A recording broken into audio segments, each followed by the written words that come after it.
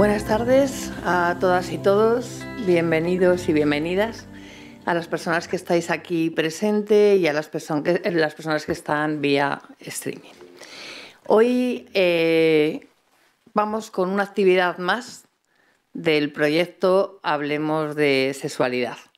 Eh, está aquí también Alejandro Llena, el coordinador de Hablemos de, Sexualidad. Y hoy tenemos para mí una conferencia estrella, pero es que se me va a notar mucho. Eh, abuso sexual infantil, el silencio. Yo es que no tengo ni la capacidad de presentarla, solamente con, estar al lado de en la mesa con, con Pepa es un auténtico honor. Se lo preguntaba antes, se lo comentaba antes con, Alejandro. Pepa y yo nos conocemos desde hace muchos años, porque ya tenemos unos cuantos, ¿verdad? Eh, fuimos compañeras en el primer curso de expertos de jurídica y yo creo que eh, recordar, yo no sé si era en el año 98 o por ahí, o sea que... Y era el primer curso que se hacía aquí en el colegio y desde entonces hemos tenido algunos...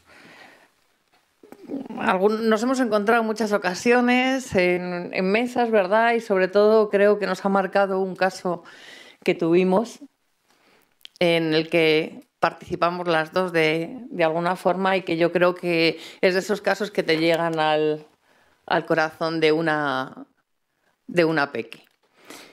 Eh, para mí, además de compañera de, bueno, de todas estas cosas, para mí siempre ha sido una maestra, siempre se lo digo a ella y no puedo evitar el, decirlo. Eh, no solamente es dónde ha estado, porque me ponen aquí, bueno, eh, muchos sitios que ha estado, asesora de, UNICEF, pero es que no quiero decir todo eso, que lo diga ella si quiere, que sé que no lo va a decir, ¿no? Pero son 30 años de experiencia en este mundo, en este mundo de, la infancia, de la sexualidad, de, de, los abusos, de ayudar y formar a tantas y tantas personas y tantos compañeros y compañeras. Eh, por mucho que yo dijera, Pepa me iba a quedar corta. Así que yo, mm, me han dicho que cinco minutos, pero es que no quiero ni utilizar los cinco minutos para que sean todos los minutos de ella. Mm, yo voy a estar, porque estoy en un curso arriba, me tendré que escapar en algún momento, pero voy a intentar mm, aguantar aquí todo lo que, pueda, de no ser que me llamen arriba, ¿vale? Pero ni un minuto quiero que perdáis con ella. Eh, lo dicho, es un lujo y aprovecharos de ella todo lo que podáis. Gracias, Nuria. Bueno, esto es lo que ocurre cuando te presenta alguien que te quiere, que entonces eh, lo hace así como que te pone un nudo en la garganta antes de empezar a hablar. Ah, gracias a todos y a todas por estar aquí, efectivamente los que habéis venido físicamente y los que estáis al otro lado de la pantalla. Em, tenemos, yo pensaba cuando preparaba esta ponencia, em, en las veces que he venido yo de asistente en el Colegio de Psicólogos a formaciones y pensaba, bueno, voy a, voy a tratar de de preparar una ponencia en la que explique lo que a mí me hubiera gustado que me explicaran sobre lo que es el abuso sexual infantil cuando empecé a trabajar como psicoterapeuta y cuando empecé, porque yo en el abuso entré primero desde el ámbito de la formación y de la supervisión. Más adelante empecé eh, a trabajar como psicoterapeuta en casos de abuso y he acabado, digamos que, que a día de hoy mm, la mayor parte de los casos que tengo en consulta son personas adultas que fueron víctimas de abuso sexual cuando eran niñas, porque el boca a boca funciona así y hay un momento en el que la gente te, te identifica o te coloca eh, en un determinado ámbito. Así que voy a tratar de contaros un poco eh, esto, lo que a mí me hubiera gustado eh, saber sobre este tema cuando empecé a, a trabajar. lo primero eh, hay una imagen que yo cuento, que utilizo mucho, eh, tanto en la consulta como en la formación, y es eh, que cuando hablamos del buen trato y del maltrato, para mí hay una cosa importante a entender y es que tanto el buen trato como el maltrato, en el fondo, es aire. Y voy a tratar de explicar la imagen. No sé si os acordáis cuando erais pequeños o pequeñas, si tuvisteis suerte, eh, esa sensación cuando os levantabais por la mañana en casa y la casa estaba calentita, eh, olía el desayuno recién hecho, la ropa estaba eh, limpia y ordenada en el armario. Em, había un montón de cosas que solo cuando uno llega a ser madre o padre se da cuenta de la cantidad de cosas que nuestros padres tenían que hacer para que nosotros nos despertáramos así cada mañana. Pero para nosotros y para nosotras era una sensación de aire era, no era una cosa en concreto, eh, era el cúmulo de todas esas pequeñas cosas generaban un aire, un aire en el que nosotros crecimos, en el que nos desarrollamos ah, y que además dábamos por hecho. Es como teníamos la sensación como de que se generaba como por ciencia infusa, como si siempre hubiera estado ahí. Pues el maltrato es lo mismo. El maltrato no es una acción, eh, no es un episodio, no es ser testigo o no ser testigo, no es que te toquen o no te toquen, o que te peguen o no te peguen. El maltrato es aire. El maltrato es levantarte por la mañana sin saber si ese día eh, te van a violar o no te van a violar. El maltrato es levantarte por la mañana sin saber si tu madre o tu padre mm, van a estar vivos o van a estar peleándose o van a estar... Es decir, el maltrato es aire. Y el aire se crea con una multitud de pequeñas vivencias. Y esa es una de las cosas que quiero dejar encima de la mesa. Eh, no es una cosa de la que hablamos, no es una experiencia, son muchas experiencias cotidianas que están metidas en la cotidianidad de las personas. Y como tales son vivencias, no son pensamientos ah, ni son eh, eh, emociones, son vivencias. Son vivencias que las personas tienen a lo largo de su vida, que tienen un elemento de procesamiento cognitivo, un elemento de procesamiento emocional y un elemento de procesamiento corporal al que luego volveremos. Y además es un aire que está construido por otras personas. Son, cuando uno es niño o niña, son las personas adultas responsables del entorno en donde uno vive, las responsables de generar ese aire. Y es un aire además que se puede dañar, que se puede destruir. Eh, ese aire en el que uno crece cuando crece en el buen trato y cuando crece en la seguridad, ese aire de la noche a la mañana puede desaparecer y convertirse en, un mero recuerdo. Ah, y uno sabe, cuando trabaja en este ámbito, eh, ha visto demasiadas veces el cambio que se produce en un niño cuando ese aire desaparece. Eh, cómo le cambia la mirada, cómo le cambia la manera de caminar, cómo le cambia... Hay una serie de indicadores corporales a los que luego volveré porque me parecen esenciales, nucleares y que a mí me hubiera gustado sinceramente que alguien me explicara cuando empecé a trabajar porque son absolutamente claves eh, por un motivo muy básico y es que no se pueden simular, no se pueden falsear. Eh, hay indicadores corporales que solo existen cuando hay trauma complejo. Ah, podemos dudar de qué tipo de trauma complejo ha producido esos indicadores corporales, pero no de que ha habido trauma ah, complejo. Entonces, claves importantes que yo he aprendido a lo largo de los años sobre el abuso sexual infantil. Primero, ah, tenemos que entender que el daño del abuso se da, pero la conciencia sobre ese daño no siempre existe. Y esta es una clave cuando uno trabaja con niños y niñas víctimas de abuso sexual que tiene que tener presente. Que el niño o la niña no sea consciente de estar dañado no significa que yo no pueda ver el daño. Y voy a llevarlo al ámbito psicoterapéutico con un ejemplo muy concreto. Hay muchas personas con las que yo trabajo que me preguntan y que están obsesionadas con recordar. Ah, y con la duda si lo que están recordando es verdad o no es verdad, o si sucedió o no sucedió. Yo siempre les digo, yo sé que sucedió, no porque tú me lo digas, sino porque hay unos indicadores que no existirían si esto no hubiera pasado. Entonces, el daño yo lo puedo ver y el daño no me lo tienes que narrar. El daño lo voy a ver en unos indicadores corporales, en unos indicadores que luego veremos. Eh, ese daño existe independientemente de, uno, que se recuerde, dos, que la persona sea consciente de ello.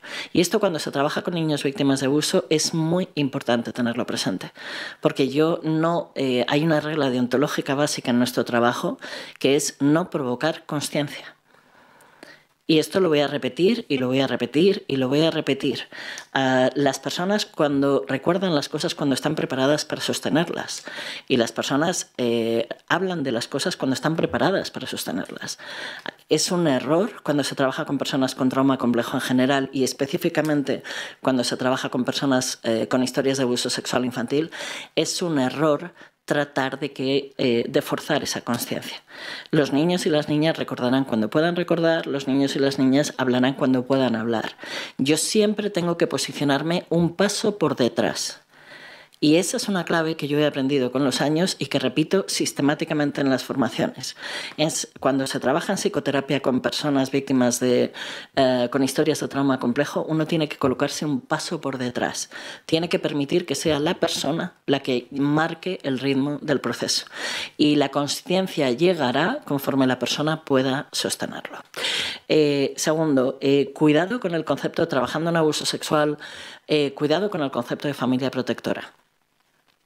Y este es otro aprendizaje que he tenido a lo largo de los años y que por desgracia en el sistema no está integrado de una manera adecuada.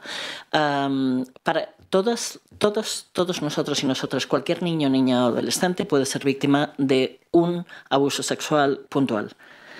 Eh, no hay nada eh, que podamos hacer, eh, ninguna estrategia de protección que impida 100% la posibilidad de que un niño o una niña, desde el momento que el abuso no es una cuestión de sexo, es una cuestión de poder. Y desde el momento que los niños y las niñas son los ciudadanos más vulnerables y los que más fácilmente es abusar del poder sobre ellos, es cogerles en un descampado, eh, en un ascensor, en la entrada de una portería. Es decir, una agresión sexual puntual puede suceder a cualquier niño o niña, pero un abuso sexual mantenido en el tiempo, para que eso se dé, tiene que haber un grado de negligencia en el núcleo familiar. Y esto que acabo de formular se formula muy fácilmente, pero resulta doloroso en extremo y uno de los elementos más difíciles de trabajar en el proceso psicoterapéutico, no solo con el niño, sino con su familia. Eh, cuando el abuso sexual se mantiene en el tiempo es porque algo ha fallado algo ha fallado dentro del núcleo familiar. Entonces tenemos que tener cuidado con el concepto que utilizamos de familia protectora o no protectora, porque una familia puede sentirse protectora y no serlo, una familia podemos creer ¿sí? Eh, que es dura emocionalmente, pero es capaz. Es decir, hay muchos, eh, muchas variables que tenemos que entrar a evaluar aquí, pero lo que tenemos que dejar claro es esta diferencia de si ha sido una agresión puntual, esto nos puede suceder a cualquier persona en cualquier contexto. Eh, pero si ha sido una agresión mantenida en el tiempo, tenemos que entender que ha habido un cierto nivel de negligencia, que hay que trabajar con la familia, porque la familia va a ser el sostén de ese niño o de esa niña, salvo en los casos de abuso intrafamiliar extremo, pero incluso hay Ah, en cualquier caso, vamos a necesitar a esa familia, vamos a necesitar a esas figuras parentales como elementos del proceso psicoterapéutico de ese niño y para eso habrá que trabajar con ellos la, culpa eh, por lo que ha sucedido, los fallos que hubo, uh, qué sucedió para que ese abuso eh, tuviera lugar. Eh, tercer elemento que para mí se ha vuelto clave, lo he mencionado antes, pero toca repetirlo. El abuso sexual no es una cuestión de sexo. El abuso sexual es una cuestión de poder como todas las formas de maltrato. ¿Cuál es la diferencia? Que eh, utilizamos la sexualidad porque es el ámbito, es uno de los ámbitos en los que más fácilmente es ejercer poder sobre otra persona, porque es uno de los ámbitos de intimidad ah, absoluta de la persona. Entonces, a partir de ahí, el abuso sexual surge de forma natural ah, a la hora de si yo quiero ejercer poder sobre otra persona, una de las maneras más fáciles que tengo es eh, ejercerlo de forma sexual. Pero, eh, y yo sé que esto es un problema, pero tengo que decirlo, y en este contexto más, eh, se está cometiendo un error a la hora, un error técnico a la hora de afrontar y evaluar el abuso sexual como una forma de violencia de género. El abuso sexual infantil es una forma de violencia contra los niños y las niñas. Y estamos cometiendo el error de invisibilizar a los niños varones víctimas de abuso uh, y de reducir en el ecosistema de los profesionales el abuso sexual infantil a una cuestión que hacen hombres con niñas, cuando en realidad hay hombres y mujeres que abusan sexualmente, aunque es verdad que mayoritariamente son hombres, y sobre todo hay niños y niñas. ¿Por qué? Porque a una persona que quiere abusar, de, eh, que quiere abusar sexualmente de otra persona, no le importa el sexo de esa persona lo que le importa es poder eh, establecer una relación de poder. Entonces, si el que tengo más fácil al lado es un niño, Ah, va a ser un niño la víctima. De hecho, muchos casos de abuso sexual infantil se dan en grupo, se dan en forma colectiva, se dan con un grupo de niños, no con un niño o con una niña. De hecho, se detectan por uno de, de las víctimas y luego cuando se destapa el caso, el último caso que tengo en el que he intervenido son 22 niños los que hay implicados. Y hay niños y niñas, hay de todo. Ah, en los casos de explotación sexual infantil que ha habido en los centros de protección, se habla solo de las niñas y hay muchísimos niños en los centros de protección que están siendo explotados sexualmente. Y esto no tiene que ver, y no por explotación, eh, de nuevo, no es una cuestión de explotación homosexual. Hay hombres y mujeres que abusan de niños y de niñas. Entonces, tenemos que separar eh, para trabajar en el abuso sexual infantil, una de las cuestiones clave es diferenciar el abuso y entender el abuso eh, como una forma de abuso de poder y entender la relación que hay entre el amor, el poder y la violencia, sobre la que luego, si me da tiempo, volveré. Pero en cualquier, en cualquier caso, esta va a ser una de las claves del trabajo y es importante entender que todos los niños, niñas y adolescentes, sean niños o niñas, están en una posición de vulnerabilidad. Entonces, ¿las niñas están en una posición de mayor vulnerabilidad? Por supuesto que sí pero que estén en una posición de mayor vulnerabilidad no significa que yo tenga que convertir el análisis del abuso sexual infantil como una forma de violencia de género porque me voy a equivocar. No se abusa de las niñas por ser niñas, se abusa de los niños y niñas porque es más fácil abusar de niños que abusar de personas adultas, porque buscamos personas que sean vulnerables, pequeñas y sobre las cuales me resulte fácil establecer una relación de poder. Esto que estoy diciendo, ya os digo, yo con esta transparencia podría eh, solo con esta transparencia podría dedicar, mm, consumir las dos horas que tengo ah, para hablar esta tarde, pero me parece importante empezar por aquí porque son claves ah, que yo insisto, a mí me hubiera gustado que alguien me explicara cuando empecé a trabajar. Y la última clave es que el abuso no es una cuestión, vuelvo a decir, de sexo, es una cuestión de miedo, es una cuestión de terror. Lo que hay debajo eh, de una experiencia de abuso es terror. Por lo tanto, lo que hay debajo de una experiencia de abuso es parálisis.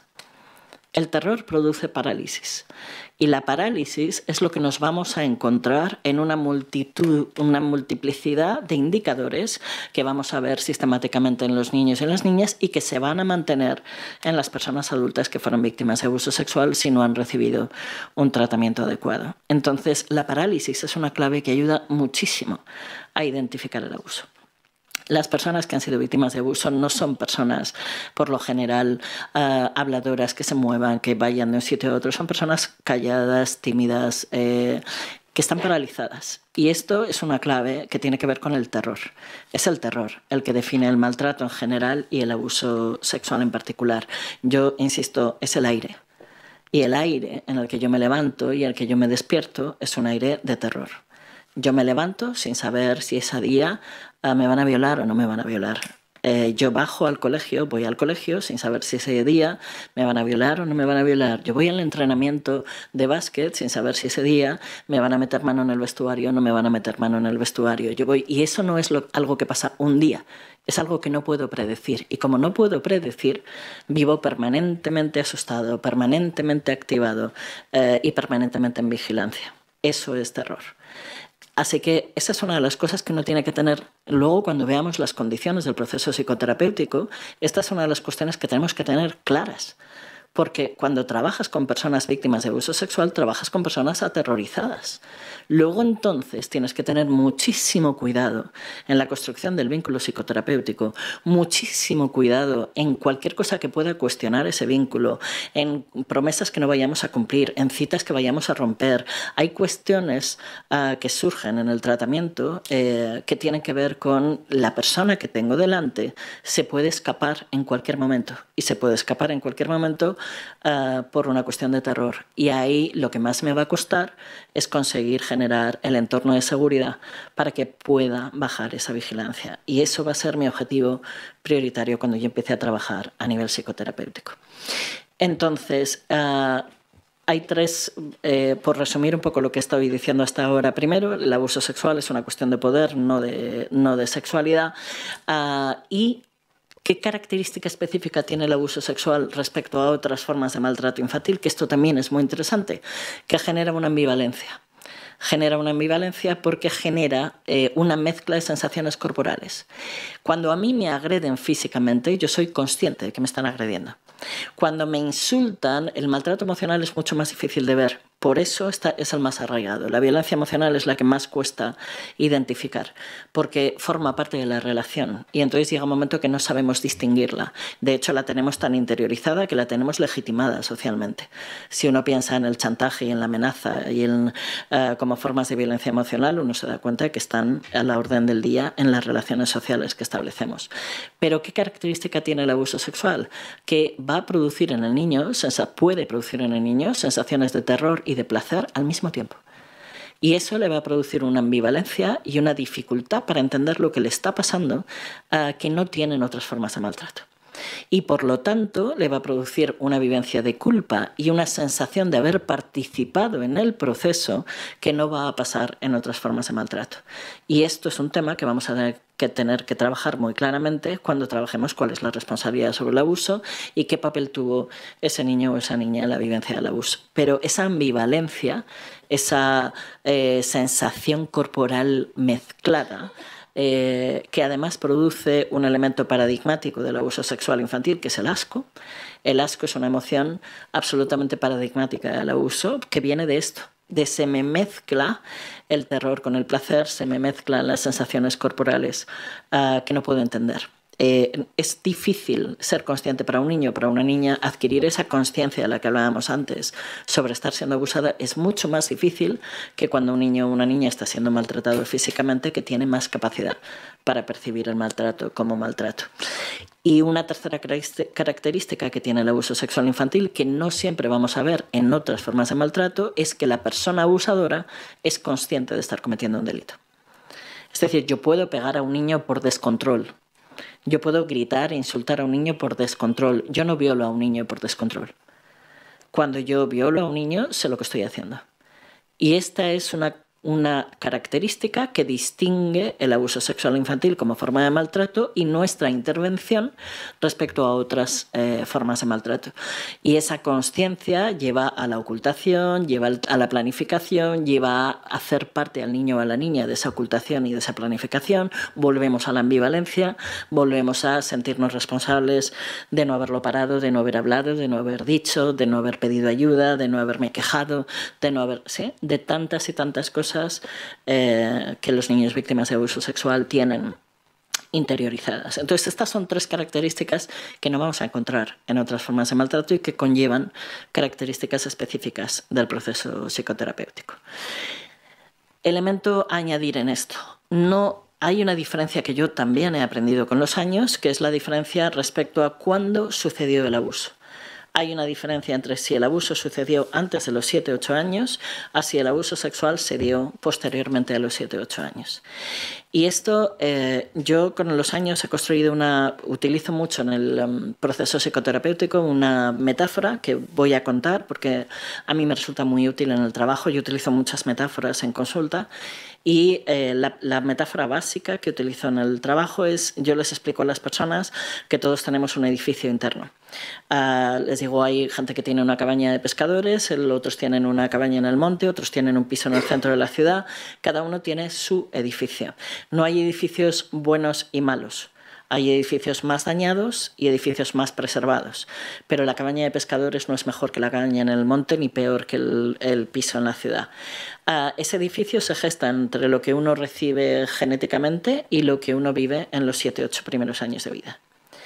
Uh, ese edificio, cuando yo empiezo el proceso psicoterapéutico, una de las cosas que les explico a las personas es, eh, hacer terapia no es mudarse de edificio.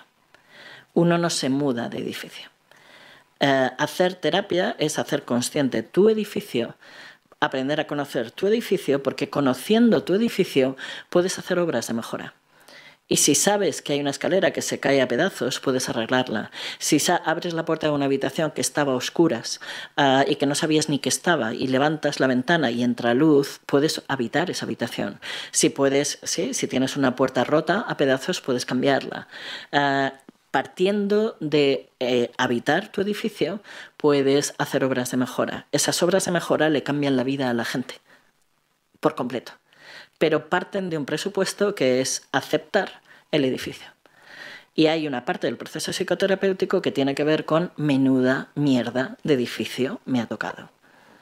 Hay una parte del proceso psicoterapéutico que tiene que ver con el enfado, la rabia, el enfadarse con los padres, el, todas estas cosas que hacemos todos cuando hemos pasado uh, por psicoterapia y que además eh, tratamos de que nuestras, eh, las personas con las que trabajamos lo hagan. ¿no? Hay un punto de hay que aceptar el edificio que te ha tocado, porque ese edificio no lo has elegido. Igual que el aire en el que te levantabas no lo elegiste es algo que tus padres te dieron, es algo que las personas que te criaron te dieron, porque no necesariamente tienen que ser tus padres eh, biológicos, pero las personas que te criaron te proporcionaron ese aire, las personas que te criaron te otorgaron ese edificio, es un regalo que te han hecho. A ti te puede parecer un regalo de mierda, pero es el regalo que te han dado. Eh, y ese edificio eh, uno no lo cambia uno no se cambia de edificio. Entonces, hay una diferencia clara entre que el abuso forme parte del edificio y que el abuso llegue cuando el edificio ya está construido. Esta diferencia es abismal. Y insisto, ojalá alguien me hubiera explicado esto a mí cuando empecé a trabajar. Porque a día de hoy uno de mis objetivos clave cuando yo empiezo a trabajar con una persona es saber cuándo empezó el abuso porque eh, mm, vuelvo a lo mismo. Una cosa es lo que tengan consciente y otra cosa es lo que, lo que sea. Eh, los estudios de abuso dicen sistemáticamente que la edad de... Em, revelación de máxima incidencia, los estudios dicen de máxima incidencia, es entre los 6 y los 11 años. No es verdad. Es la edad de máxima revelación es cuando los niños adquieren conciencia, empiezan a salir, empiezan a ir a otras casas, empiezan a eh, recibir una serie de contenidos en la escuela, empiezan a pasar un montón de cosas que les permiten hacer consciente que eso que estaban viviendo es abuso. Ah, pero pueden haber empezado a vivirlo con dos y con tres años y con un año y de bebés. Entonces, eh, una de las cuestiones claves es entender cuándo empezó el abuso y a veces no lo sabemos. Entonces, de nuevo, vuelvo al daño. ¿Cómo sé yo que el abuso empezó antes de los 7-8 años? Porque hay determinados eh, indicadores que no están cuando el abuso llega posteriormente. ¿Por qué? Porque si el abuso llega posteriormente, mi identidad, mi edificio permanece indemne. ¿Yo paso un síndrome postraumático? Por supuesto que sí, siempre pero que yo pase en síndrome de estrés postraumático no significa que mi edificio se tambalee. A mí como adolescente o como persona adulta pueden violarme un día, una noche en un descampado uh, y eso no tiene por qué hacer tambalear mi edificio. Hacerme pasar un síndrome de estrés postraumático, por supuesto. Hacerme dudar de un montón de cosas y de la humanidad y del ser humano, por supuesto. Pero mm, mi edificio puede permanecer indemne. Entonces, una de las cuestiones clave aquí es la diferencia entre cuándo empezó eh, el abuso. Y esto es algo que no siempre llegamos a averiguar, pero que hay una serie de indicadores que hay que seguir para saber, eh, para poder intuir eh, cuándo empezó o al menos investigarlo y tratar de averiguarlo. Porque si el abuso llegó antes de los 7-8 años, se va a quedar en el edificio. Y ahora veremos qué significa o a qué llamo yo. Esto técnicamente lo llamamos trauma de desarrollo. ¿Sí? O sea, porque yo esto puedo explicarlo como lo explico o puedo llenar la conferencia de términos técnicos, que me lo sé, pero que me lo sepa no significa que me hayan ayudado, de hecho yo no los utilizo en consulta, yo no les hablo a, a las personas con las que trabajo de trauma de desarrollo, ni de trauma vicario, ni de un montón de cosas que no, no menciono porque lo que menciono es el edificio, lo que les explico son los pilares, lo que les explico es cómo uno aprende a montar en bici sobre el edificio que uno tiene, no sobre el que querría tener, sino sobre el que uno tiene, y cómo cuando en ese edificio está el abuso hay cosas con las que te quedas peleando toda la vida porque se quedan en el edificio. En cambio, cuando ha llegado posteriormente al edificio, se pueden ir y se ve cómo se van se pueden, pueden desaparecer. La sintomatología puede desaparecer por completo. Cuando el abuso está dentro del edificio, la persona pelea con determinada sintomatología todo, toda su vida. Y hay que trabajar la aceptación de eso, hay que trabajar la rabia que se supone, hay que trabajar el dolor que se supone y reconocer. Hay una eh, expresión que yo aprendí de mi compañero de espirales, de Javier, uh, que aplico constantemente, que es honrar el dolor hay que honrar el dolor de las personas y honrar el dolor de las personas significa darle su justa magnitud. No significa decirles pobrecitas tú, significa poner nombre y magnitud a el dolor que te están contando. Y a veces es nuestra cara de horror cuando nos cuentan determinadas cosas, la que da honra al dolor de las personas, la que da el valor y la magnitud a lo que nos están contando, porque a veces nos lo cuentan tan disociados o disociadas que te lo están contando como si, si hubieran tomado un helado de fresa Y una de las cuestiones que nosotros aportamos dentro de ese vínculo psicoterapéutico es ese proceso de conciencia que a veces ocurre desde nuestra propia reacción ante eh, lo que nos están contando. Eh, mm, luego podemos ir en el turno de preguntas, pero ya anticipo que yo soy de las psicoterapeutas que llora cuando hay que llorar, de las psicoterapeutas que se enfada cuando hay que enfadarse, de las y que considero, lo hago desde una perspectiva técnica. No me desbordo, entiendo, entiendo que todos entendemos que hay una diferencia entre que a mí se me escape una lágrima y que yo me desborde emocionalmente. Es la diferencia entre ser una figura de seguridad o no serla. Ah, yo no me desbordo a día de hoy, siempre digo, yo hace muchos años que dejé de decir esa frase de mm, eh, no, no, creo que haya nada peor. Yo hace muchos años que dejé de decir eso, porque cada vez que lo digo me encuentro con algo peor. Entonces eh, me paso el día trabajando con eh, la parte más espantosa del ser humano y lo que la gente es capaz de llegar a hacer a los niños y a las niñas. Así que mi visión del, ah, del mundo y del ser humano no es una visión naif ni, ni inocente Sí, pero precisamente por eso defiendo claramente eh, la capacidad que tenemos como psicoterapeutas de dar valor al dolor de la gente y dárselo a través de nuestra propia reacción emocional eh, y, en presencia delante de las personas. Eh, y por supuesto, el, abuso, se me ha olvidado, pero es fundamental, el abuso que está en el edificio se queda en la memoria corporal. Este es otro concepto técnico al que tenemos que volver y volver y volver porque supone trabajar las sensaciones corporales de las personas. Supone trabajar eh, mucho más allá del pensamiento, supone trabajar el cuerpo y la memoria corporal que la persona tiene. ¿Qué pasa eh, si el, eh, el, abuso llega después? Que como el edificio está preservado no hay tanta parálisis. y esta es una de las claves, porque se enfadan porque la rabia es la parte activa de la protección. De nuevo, otra cosa que tenemos que recuperar a nivel psicoterapéutico.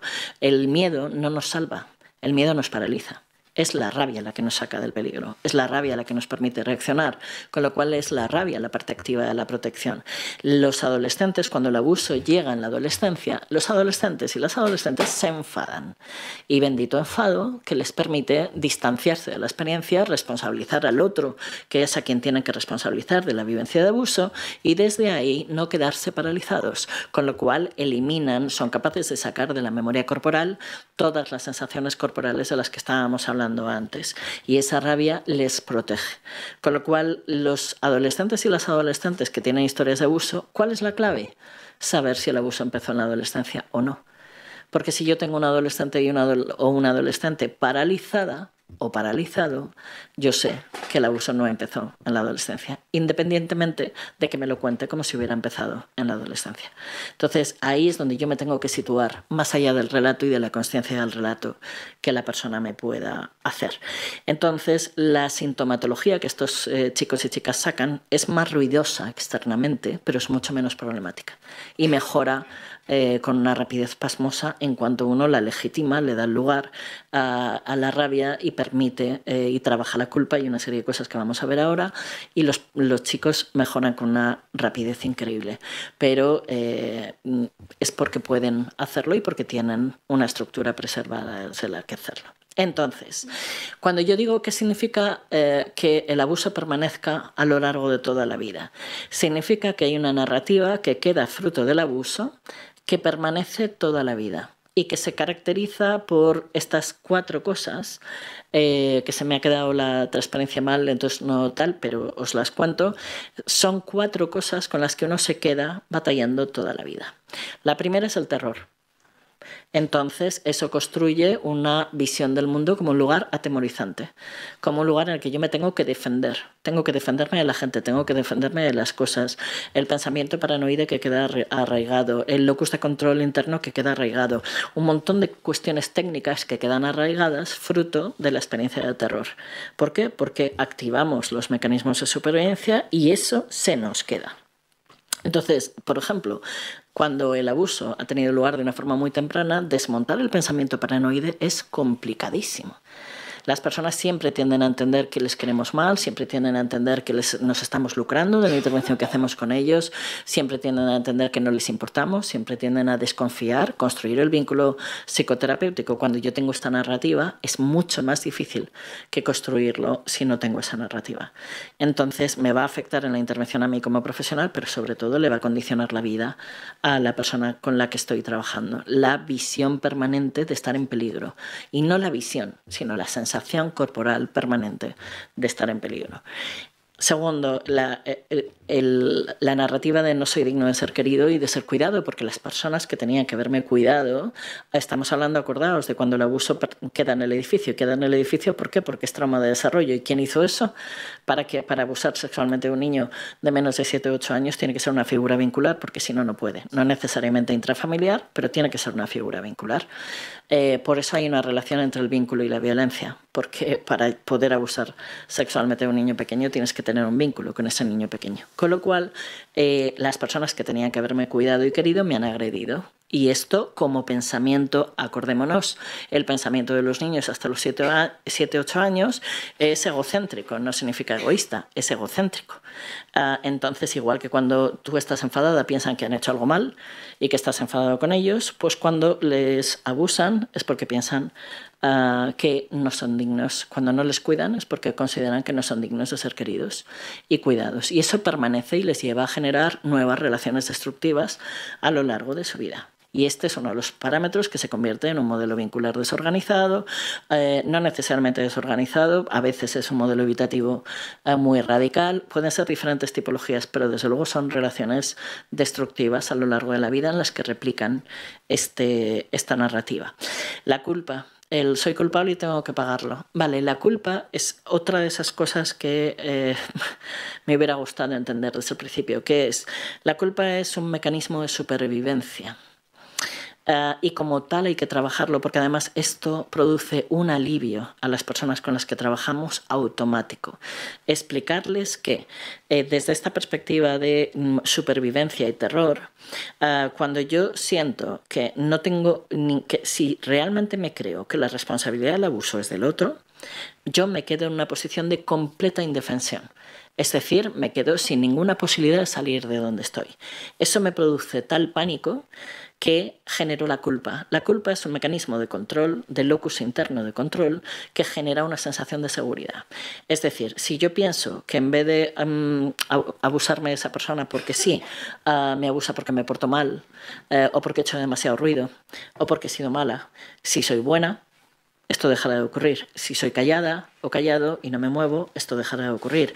Adquiero una sensación de control sobre la situación que de otra manera Ah, me deja completamente paralizado o paralizada porque siento que estoy completamente indefenso o indefensa.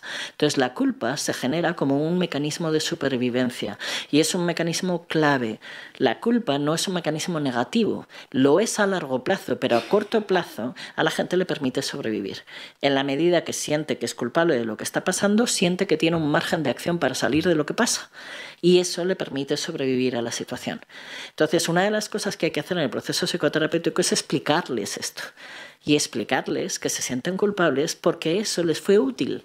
Les fue útil y les fue necesario para poder sobrevivir. Ahora ya les hace daño, pero es más fácil desmontar algo que te hace daño si entiendes por qué lo has hecho que si no entiendes por qué lo has hecho y además entiendes ah, que, eres, que eres idiota porque te sigues autocastigando y autofustigando. No, no, no, no te autocastigas uh, porque seas idiota o, eh, tú o tú, sino porque eh, has eh, hecho lo que tenías que hacer para sobrevivir.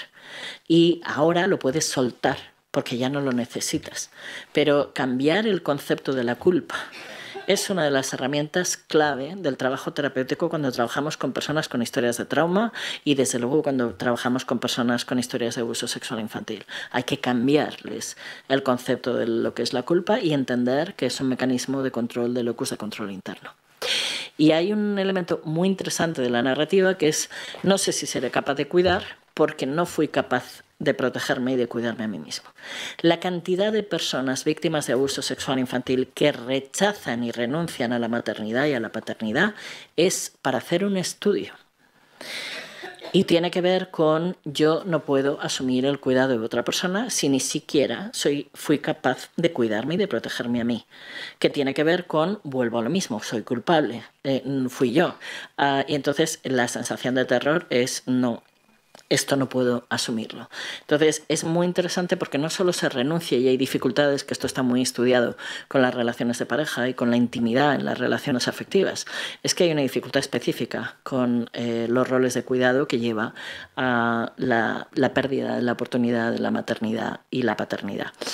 Eh, y en, esta transparencia hay una cosa más que no sale porque se ha ido la, transparencia, que hay un último eh, elemento de la narrativa que es eh, muy interesante porque cuesta verlo, que es hay que mantener a la gente suficientemente cerca y suficientemente lejos.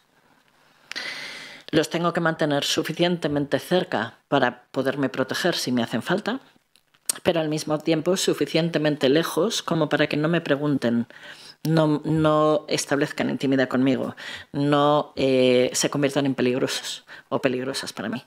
Entonces es muy interesante porque uno piensa, tiende a pensar que las personas con historias de abuso son personas muy solitarias, muy aisladas, eh, y no es verdad. Ah, son personas que tienen una cierta red ¿Por qué? Porque hay que mantener a la gente suficientemente cerca, pero suficientemente lejos. Y provocan una sensación que todos los que luego esto eh, eh, es muy interesante cuando se trabaja con la pareja, por ejemplo, porque provocan una cierta sensación de distancia, de artificialidad.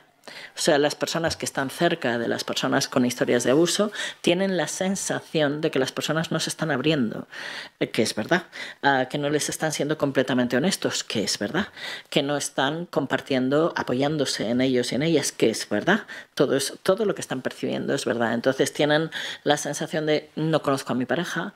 Esto en la relación de pareja eh, juega un papel fundamental después eh, en la edad adulta. esa sensación de le conozco pero no no le conozco, eh, está siendo honesto pero no está siendo honesto, sé pero no sé, y tiene que ver con esta necesidad de mantener una cierta distancia pero al mismo tiempo una cierta proximidad.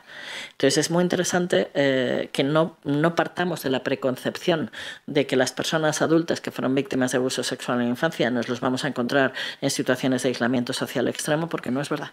Tienen que tener una cierta red para poderse proteger.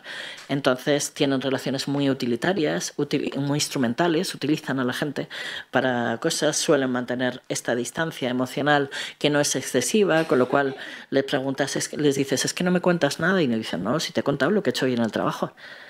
Sí, la cuestión es no hablarte de mis emociones, no hablarte de mis estados, no contarte determinadas cosas. Todo va a ir bien mientras no toquemos determinados temas y determinados ámbitos. Pero no te alejes demasiado, porque si te alejas demasiado yo me muero de miedo.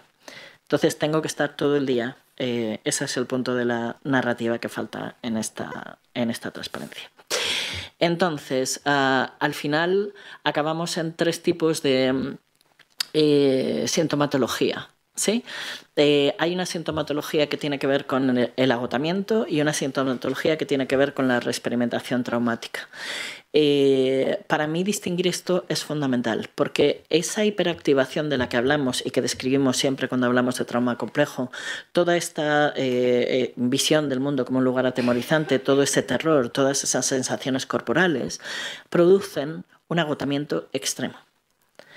Ah, y las personas que llegan a mi consulta, no sé las vuestras, pero a mi consulta llega gente agotada, absolutamente extenuada de sobrevivir. Sobrevivir conlleva un esfuerzo, un esfuerzo corporal, un esfuerzo cognitivo, un esfuerzo emocional, un esfuerzo. Y la gente se agota. Entonces hay mucha sintomatología que tiene que ver con agotamiento, no con la experimentación traumática, sino con el agotamiento. La sintomatología depresiva, los problemas de sueño, hay una serie de eh, cuestiones que aparecen que tienen que ver con el agotamiento. Entonces hay un elemento fundamental en el proceso psicoterapéutico que es que yo trabajo lo primero y de hecho es de las pocas, la única condición que yo sigo no negociable para poner medicación a las personas es que no duerman al menos cinco horas. Si las personas no duermen al menos cinco horas, es la única condición general que yo tengo, luego puedo poner medicación en un cuadro concreto en concreto, pero la única o sea, la única condición general que yo tengo en mi trabajo para poner medicación es, o para derivar a que pongan medicación, es ah, que no duerman al menos cinco horas. Eh, si las personas no duermen, y el problema con el agotamiento extremo es que llega un momento que dejan de dormir. Entonces, si las personas no duermen, no vamos a poder hacer un trabajo de conciencia psicoterapéutico. Entonces, mi, mi objetivo número uno es que duerman. Y una vez que he conseguido que duerman, ya todo lo demás empieza a funcionar. Pero hasta que no consigo que las personas duerman, no empiezo con el trabajo sobre el trauma. Y este es una, eh, como un límite, porque es un límite que no me puedo saltar y que me va a apetecer saltarme en varios momentos del proceso psicoterapéutico, porque aparentemente van a estar dispuestos a hablar del tema, pero no pueden sostenerlo. Eh, entonces vuelvo a ir un paso para atrás. Si no estás durmiendo es porque no puedes sostener, porque estás demasiado agotado. Entonces, por mucho que me, que me digas que puedes sostenerlo, yo me tengo que fiar del indicador, no de tu relato. Y el indicador es que sigues sin dormir. Y si sigues sin dormir es que no puedes hablar. Entonces yo tengo que volver un paso para atrás y situarme siempre en un paso por detrás de ti y el paso por detrás de ti me lo va a dar lo que tú hagas, no lo que me digas. Yo siempre digo a la gente en la consulta, evalúa a la gente por lo que la gente hace, no por lo que la gente dice. Entonces, ¿cómo sé yo que una persona mejora? Porque cambia de comportamiento, porque cambia de rutinas, porque empieza a hacer una serie de cosas que antes no hacía o deja de hacer una serie de cosas que antes hacía, no porque me diga que está mejor. Todos van a querer decirme que están mejor en un momento determinado del proceso psicoterapéutico. Entonces, yo no evalúo por el relato solo de la gente, evalúo por los indicadores. Entonces, hay una sintomatología por agotamiento y hay una sintomatología por estrés postraumático y hay una sintomatología disociativa. Son tres tipos de sintomatología que nos vamos a encontrar en las personas eh, y en los niños y niñas que han sido víctimas de abuso sexual, tanto en las adultas como en, los niños, niñas y adolescentes. Y luego va a haber, nos vamos a encontrar una serie de patologías psicosomáticas derivadas de todos estos indicadores corporales que ahora vamos a, vamos a ver. Eh, y a mí hay eh, tres elementos que con los años, y por suerte, ya no soy la única que lo digo, y por suerte las cosas están cambiando cambiando. Pero hay tres diagnósticos diferenciales que hay que hacer de manera sistemática eh, cuando se habla de abuso sexual infantil, que es uno con los trastornos de alimentación, hay que hacer un diagnóstico diferencial y hay que ver en la historia eh, historias de abuso sexual infantil, historias de trauma complejo. Esa relación entre el trauma complejo y los trastornos de alimentación ya por fin se está reconociendo. Punto número uno. Punto número dos, las adicciones de todo tipo. Detrás de las adicciones hay de nuevo que hacer un diagnóstico diferencial, una búsqueda de trauma complejo en la infancia de estas personas y en las autolesiones. En las autolesiones hay que hacer siempre una evaluación de a ver si lo que está habiendo realmente detrás es una historia de trauma complejo no identificada o no consciente. Son tres, escenarios que cuando yo me los encuentro automáticamente voy para atrás y trato de averiguar eh, sobre las historias de abuso. Entonces, em, para mí hay un elemento fundamental que es eh, el abuso no se supera, el abuso no se olvida, el abuso no se pasa página. Son expresiones que eh, utilizamos muchas veces y las utilizamos desde nuestra propia angustia. Es decir, nosotros eh, somos profesionales, pero sobre todo somos personas. Y cuando la gente te cuenta determinadas historias, tú quieres creer que esas historias van a desaparecer tú necesitas creer que esa persona no va a seguir eh, mm, cargando con, esa, eh, con ese peso toda su vida. Y uno quiere creer eh, en la rapidez, uno quiere creer en determinadas cosas. Entonces, a veces utilizamos expresiones que tienen que ver con nuestra propia angustia. Y vuelvo a utilizar la expresión de hay que honrar el dolor de la gente y legitimar la rabia como un elemento del proceso.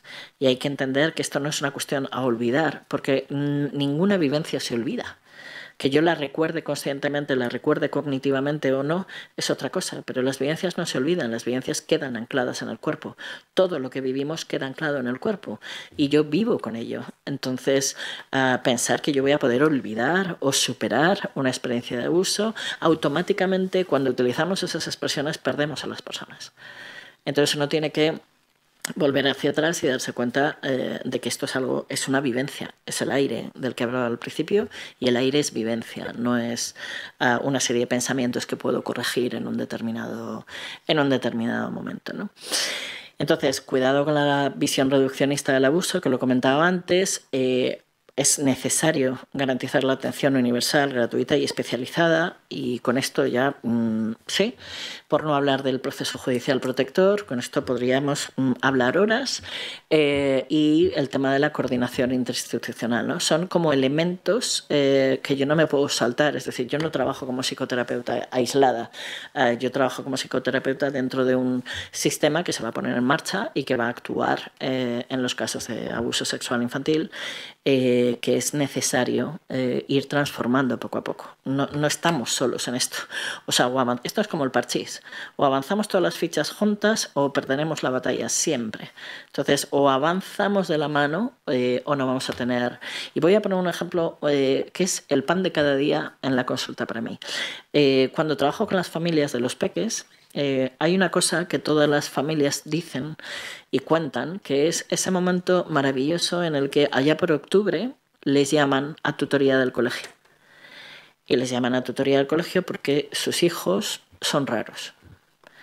Y son raros porque, mm, por ejemplo, tienen una cosa que es que sacan nueves y dieces en los trabajos, pero sacan doses y treses en los exámenes. Y entonces nos explica eh, cómo es posible eh, esta disparidad de rendimiento eh, y de diferencia. Bueno, una de las cuestiones que hay que ver cuando se habla de la visión del mundo como un lugar amenazante son los contextos de evaluación un contexto de evaluación para un niño con historia de trauma complejo se convierte en una posibilidad de fracaso y como tal de agresión y de abandono. Entonces los exámenes, las exposiciones en público, todo lo que suponga evaluación para un niño con una historia de abuso, con una historia de trauma complejo, se convierte en un gigante de tres cabezas y entonces son capaces de tener un rendimiento escolar en casa haciendo eh, los deberes que no son capaces de tener en un examen. Siguiente elemento, eh, cualquier cosa que suponga contexto social. Las personas con esta cosa de suficientemente cerca y suficientemente lejos, cuando yo tengo que entrar en un grupo, entrar en un grupo es agotador en grado extremo. Hay personas adultas con las que yo trabajo que no pueden desenvolverse en grupos. Son incapaces de ir a una cena de más de dos o tres personas, son incapaces de ir a un, eh, a un concierto, son incapaces de desenvolverse en contextos grupales, porque el nivel de vigilancia que están manteniendo constantemente los deja agotados o agotadas. Entonces hay que entender que mm, la, la, parte que tiene que ver con esta narrativa y convivir con esta narrativa de la que hablábamos conlleva eh, trabajar, eh, conlleva sintomatología que hay que explicar a los otros agentes que intervienen con los niños porque esos profesores o profesoras, mientras no entiendan y no estén adecuadamente formados y no entiendan los indicadores de trauma complejo, no van a entender esos educadores en los centros de protección ah, que no están formados para ver las conductas oposicionistas que los llaman o los trastornos de conducta desafiante y estas cosas, estos títulos maravillosos que les ponemos a las cosas ah, como indicadores de trauma la falta de formación en, psicología del trauma es espeluznante en todo el sistema. Y mm, cuando digo todo el sistema me refiero a todo el sistema. Eh, no hemos conseguido, yo llevo 30 años, como decía Nuria, trabajando en esto. Hemos conseguido cosas que aparentemente eran infinitamente más difíciles. Y no hemos conseguido una muy básica, muy básica, muy básica, que es modificar los currículos académicos de todas las profesiones relacionadas con infancia. Entonces resulta que nuestra profesión, que para eso estamos aquí en Colegio de Psicólogos, ah, sigue utilizando un currículum académico que no incluye ni el trauma ni el maltrato. Entonces, señores, eh, estamos formando generaciones y generaciones de psicólogos que están eh, obsoletos técnicamente porque no saben ah, de algo básico y fundamental. Los médicos eh, en su formación en medicina ven síndromes que tienen una incidencia de uno por millón y esto que es el 20% de la población no lo ven y lo van a tener en consulta sí o sí. Las enfermeras y enfermeros lo van a tener en consulta sí o sí. Los trabajadores sociales y trabajadoras sociales lo van a tener. Ninguna de las profesiones que está dentro del sistema está formada ni en trauma ni en maltrato. Entonces, no hemos conseguido. ¿Por qué? Porque el Consejo de Universidades es independiente y entonces nadie les puede decir lo que tienen que hacer, con lo cual 30 años después siguen sin haber decidido modificar los currículums académicos eh, de todas las profesiones relacionadas con infancia. Y a mí esto yo lo cuento sistemáticamente porque me parece interesante que sea un elemento que pase dentro del sistema y que a todo el mundo le parezca normal eh, que esto siga pasando y que 30 años después sigamos permitiendo que generaciones enteras de profesionales salgan sin estar estar adecuadamente formados y actualizados técnicamente con todo lo que sabemos, porque hay un montón de cosas de trauma que sabemos hoy en día que hace 10 años no sabíamos. No estoy hablando de hace 30 cuando yo empecé, estoy hablando de hace 10 o 12 años. Entonces, eh, con eso tenemos un problema. Entonces, para ver un poco la sintomatología, eh, me quedan dos bloques. La sintomatología, que me la voy a pasar así rápido, pero no quiero dejar de mm, explicarla.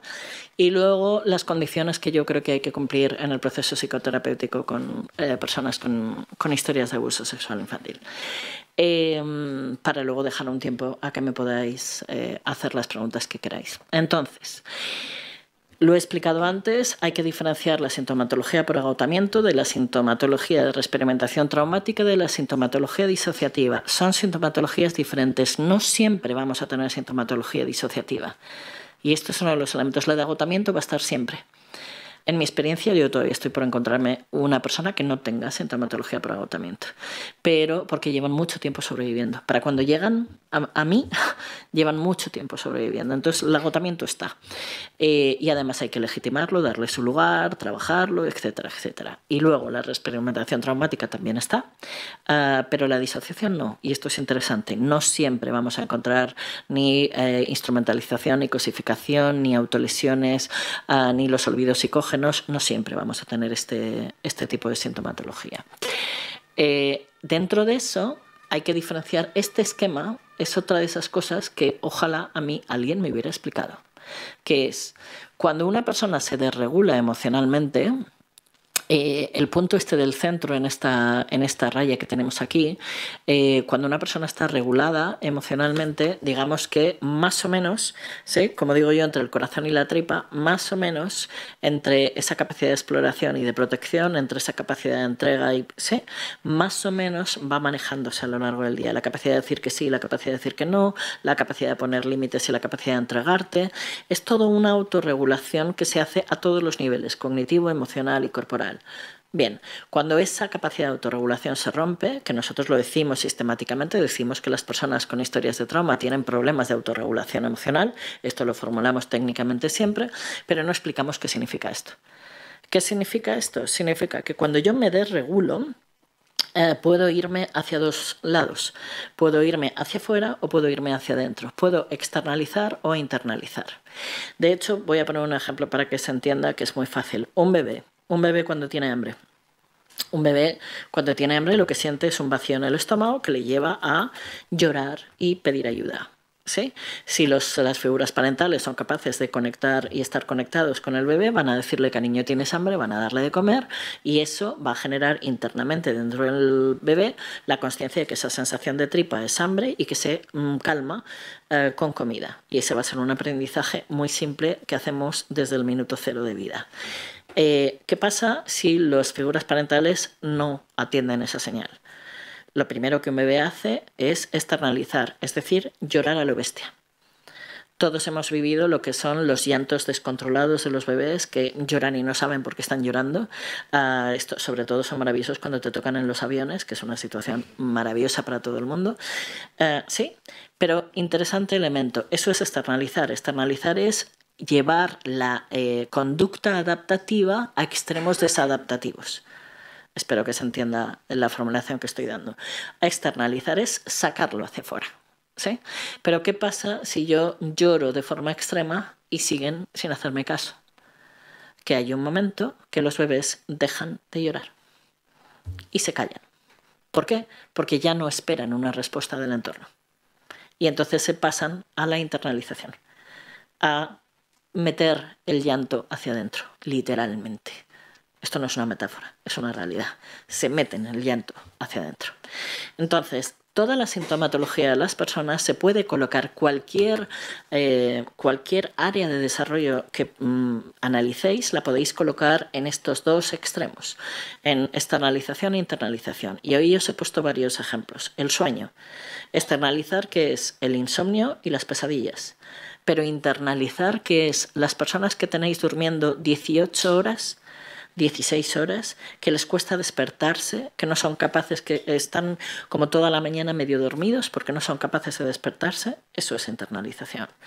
Ah, la comida, la externalización en los trastornos de alimentación sería la obesidad y la bulimia. La internalización sería la anorexia. El movimiento, la externalización sería la llamada hiperactividad en la que no me voy a meter mm, por, eh, por, por la cuenta que me trae.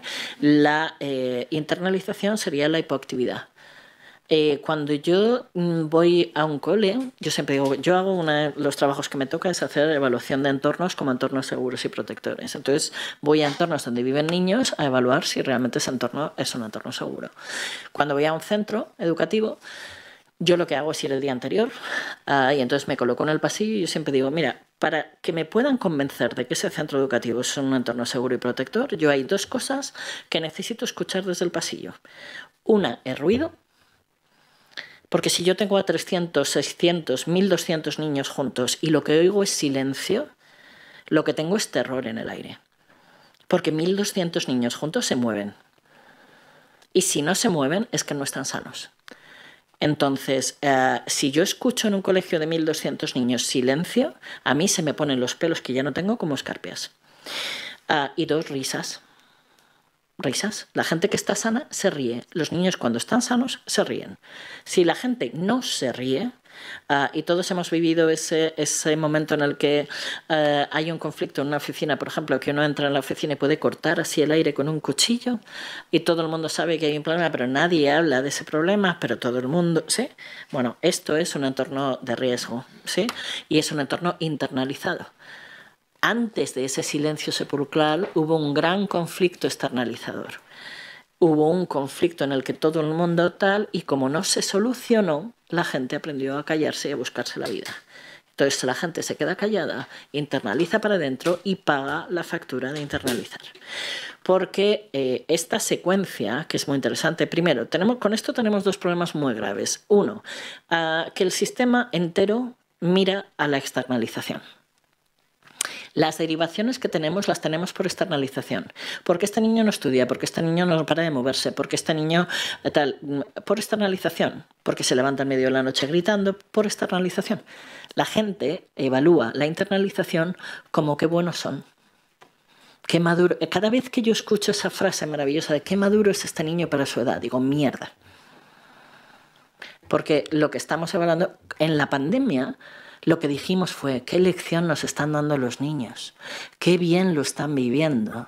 Y lo único que hicieron fue hacer el servicio a, nosotros, a sus padres, a los padres, a los que somos padres y madres, cada uno de nuestros hijos nos hicieron el servicio que tenían que hacernos, que es que cada uno estábamos tan angustiados con nuestra propia angustia y tan sobrepasados que no teníamos capacidad para sostener la suya. Ah, y entonces se la tragaron. Y entonces, después de la pandemia, han pasado las cosas que han pasado pero todo el mundo se pregunta de dónde han salido y todo el mundo cuando sucedió la internalización colectiva que vivimos en la pandemia, a todo el mundo le pareció que los niños nos estaban dando una lección y que se estaban portando súper maduramente y que estaban integrándolo todo ah, con una capacidad maravillosa. Entonces, tenemos un problema porque la gente evalúa, primero, mira la externalización y segundo, la evalúa como de peor pronóstico cuando el peor pronóstico es la internalización. La autolesión es internalización, la agresión a otras personas es externalización, la autolesión es internalización y el extremo de la autolesión es el suicidio. Entonces, el peor pronóstico siempre está en la internalización. A mí, eh, los niños que me preocupan de verdad son los que no se mueven. Los niños que me preocupan de verdad son los que no hablan. Los niños y las niñas que me preocupan de verdad son los obedientes y los parentalizados y todos estos términos técnicos que les ponemos que son los que esconden su dolor. Los que han aprendido a ocultarlo. Y como tienen que ocultarlo permanentemente, eso acaba produciéndoles una sintomatología extrema que manejan eh, de formas muy destructivas. Entonces, tenemos varios problemas. Primero, miramos a la externalización. Segundo, evaluamos la externalización como de peor pronóstico, cuando el peor pronóstico es la internalización. Y tercero, hay que entender este círculo entre primero me voy a la externalización y luego voy a la internalización. Porque cuando me encuentro en internalización, una de las cosas interesantes para hacer en psicoterapia es averiguar dónde estuvo la externalización. Porque antes de la internalización hubo una externalización. ¿Qué pasó? Porque para ver externalización, elemento interesante que yo he aprendido a lo largo de los años, para ver externalización tiene que haber una figura de seguridad. Porque si no, no hago la externalización. Porque la externalización, en el fondo, es una petición de ayuda.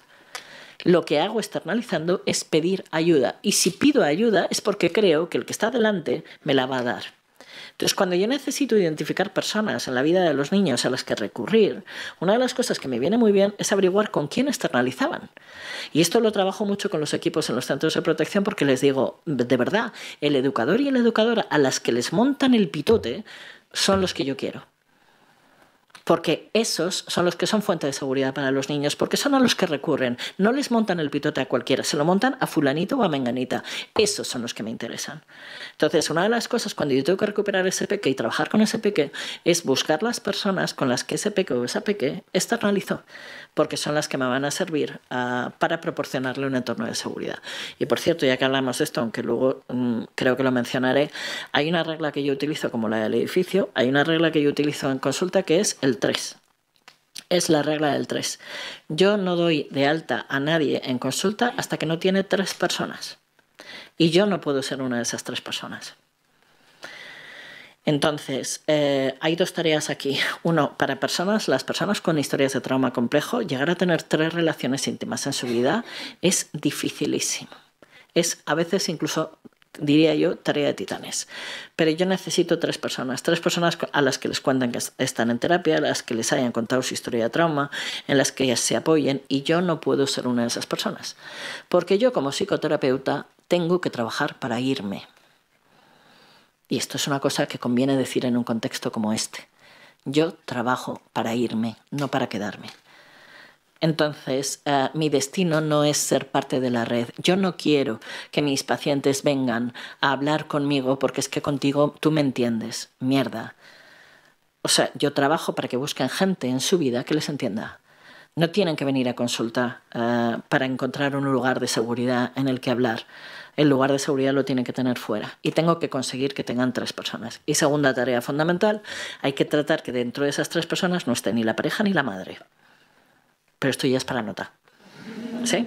La cantidad de personas que vienen y me dicen, no, porque es que yo con mi pareja lo de todo, yo no me sirve. No me sirve.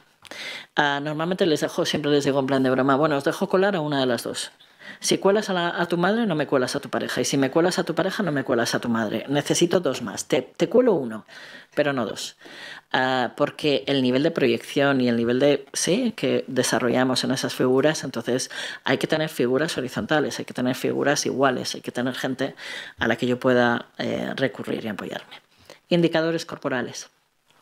Lo he dicho antes y lo repito.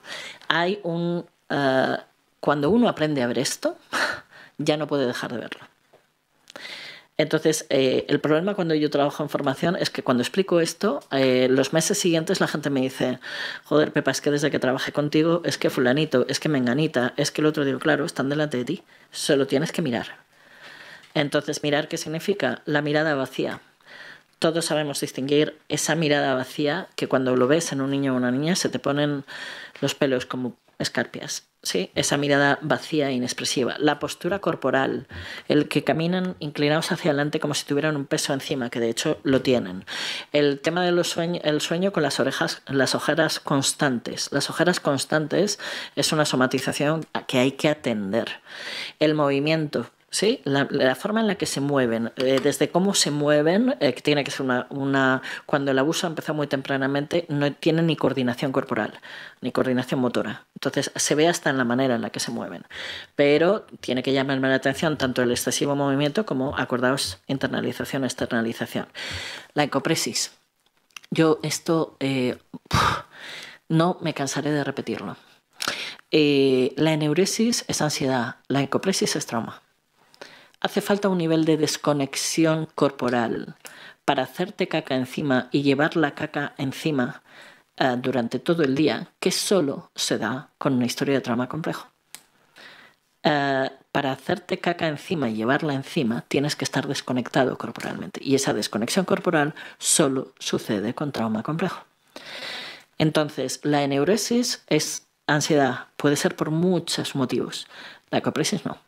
Entendémonos fuera de la etapa de control de esfínteres. Eh, creo que, esto no tengo que explicarlo, pero por si acaso. Sí, pero la ecopresis, yo me dedico sistemáticamente, estoy muy cansada de trabajar con críos de 10 años, de 12 años, de 14 años en el sistema de protección que se, se hacen caca encima todos los días.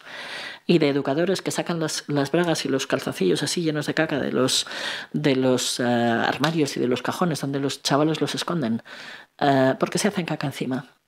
Eh, y no es una cuestión eh, metafórica, real. Y yo tengo que acostumbrarme a saber que aunque ese chico me lo cuente o no me lo cuente, si ese indicador está, es porque ha habido una historia de trauma complejo.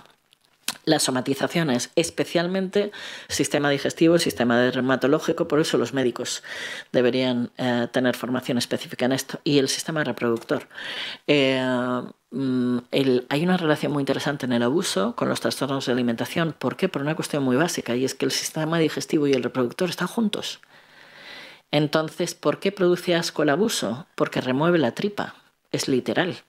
Y entonces los niños con diarreas crónicas, los niños con estreñimientos crónicos, los niños con trastornos de, eh, del sistema digestivo, eh, es algo que hay que atender sistemáticamente y entender que ahí tenemos algo detrás Ah, que tiene que ver con trauma complejo. Y en el abuso sexual, esa relación es por la proximidad. Y cuando uno es agredido sexualmente, la tripa se le revuelve y genera una sensación de asco. Por eso el asco es una emoción paradigmática del abuso que no vais a encontrar en otras formas de maltrato.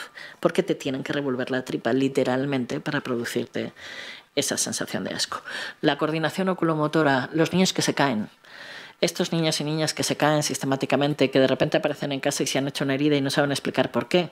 ¿Por qué? Porque hay una combinación mm, eh, matadora, que es la combinación entre un umbral alto del dolor con una, em, eh, con una falta de regulación ah, de la temperatura corporal, que son dos indicadores fundamentales corporales.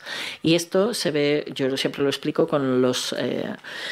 Con los montañeros y montañeras. Un montañero o una montañera cuando tiene un accidente en la montaña eh, lo que hace es bajar la temperatura corporal y subir el umbral del dolor para tener oportunidades de sobrevivir hasta que le rescaten. Y por eso se les caen los dedos de los pies por congelación y no se enteran porque han subido el umbral del dolor y bajado la temperatura corporal. Esos son dos eh, indicadores corporales que solo se activan con historias de trauma, trauma físico o trauma emocional.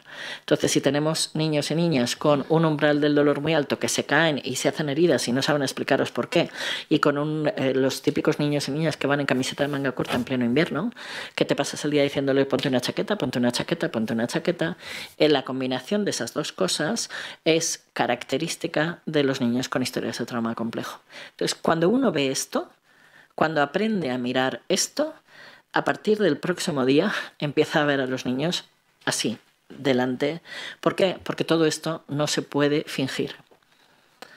Yo no puedo fingir la copresis, no puedo fingir el umbral alto de dolor, no puedo fingir la mirada vacía. Son indicadores que se dan sin poderse ser manipulados. Entonces uno tiene que aprender a mirar esto, a introducirlo en los eh, informes de evaluación, a introducirlo en los diagnósticos, a introducirlo de forma eh, sistemática en el trabajo que hacemos.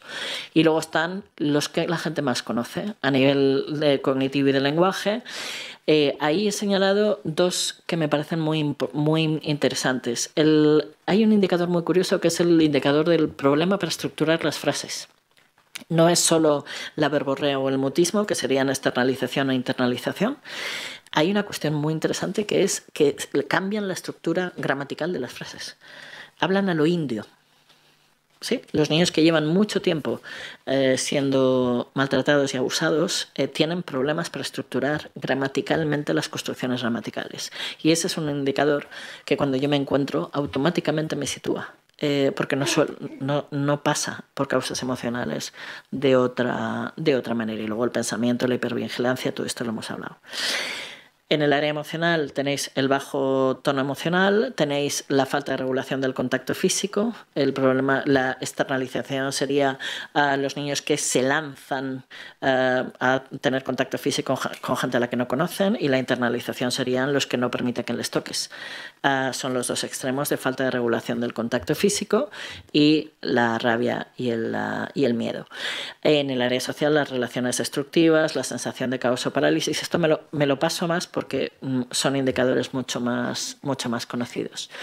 Y en la sexualidad, fijaos que yo he estado todo el rato y no llego a la sexualidad hasta ahora. Porque, insisto, el abuso sexual no es una cuestión de sexo, es una cuestión de abuso de poder.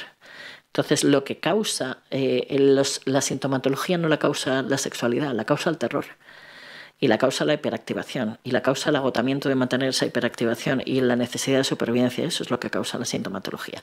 Pero además se puede manifestar en el área de la sexualidad. ¿Cómo? Tenéis por un lado la sintomatología disociativa, que es la cosificación y la instrumentalización sexual, que no siempre os la vais a encontrar, pero cuando os la encontréis es sintomatología disociativa, ni de agotamiento ni de experimentación eh, postraumática. No tiene absolutamente nada que ver ni con la orientación sexual ni con la identidad sexual ni tanto el modo en el que se lleva a cabo el abuso, ni como consecuencia a medio y largo plazo, como dice alguna gente. No tiene nada que ver, ni está relacionado en absoluto. Las conductas de abuso sexual hacia otros niños y niñas, que son sintomatología de experimentación traumática, y como tal hay que evaluarla porque aquí tenemos un tema con, esta, con este tema y lo he puesto entre comillas, que es el indicador tal y como se formula en la mayor parte de los manuales técnicos, las conductas sexuales inapropiadas para su edad. Claro, aquí entramos en, yo estoy, recibo más o menos y no estoy exagerando, una media de dos llamadas al mes de escuelas infantiles por niños que se masturban y niñas que se masturban en clase.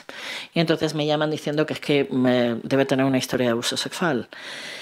Entonces, es muy interesante porque cuando trabajas el abuso y te das cuenta que es una cuestión de poder, no de sexo, eh, entonces os voy a eh, contar el caso de la semana pasada que tuve que sí era un indicador de abuso y fue una niña de 5 años que cogió a un niño de 3 y lo metió en el baño y le bajó los pantalones y le tocó.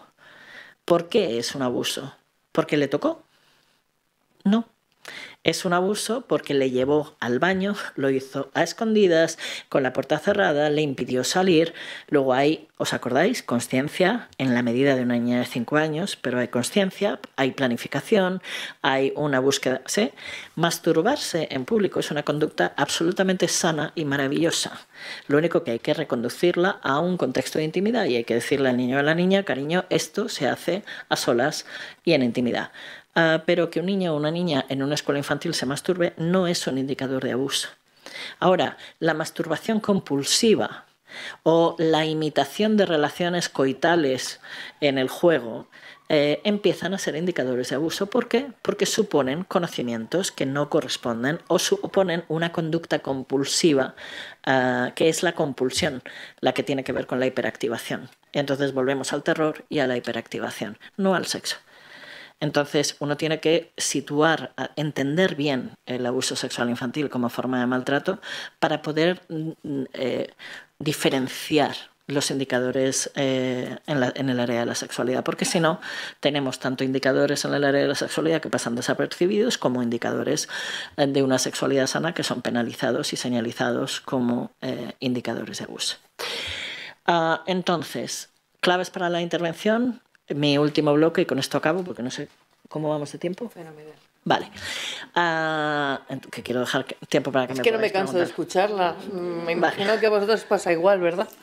Vale, entonces, ¿qué necesitamos para poder intervenir eh, con personas con historias de abuso sexual infantil y especialmente en este caso con niños, niñas y adolescentes con historias de abuso sexual infantil? Primero, el entorno seguro y protector.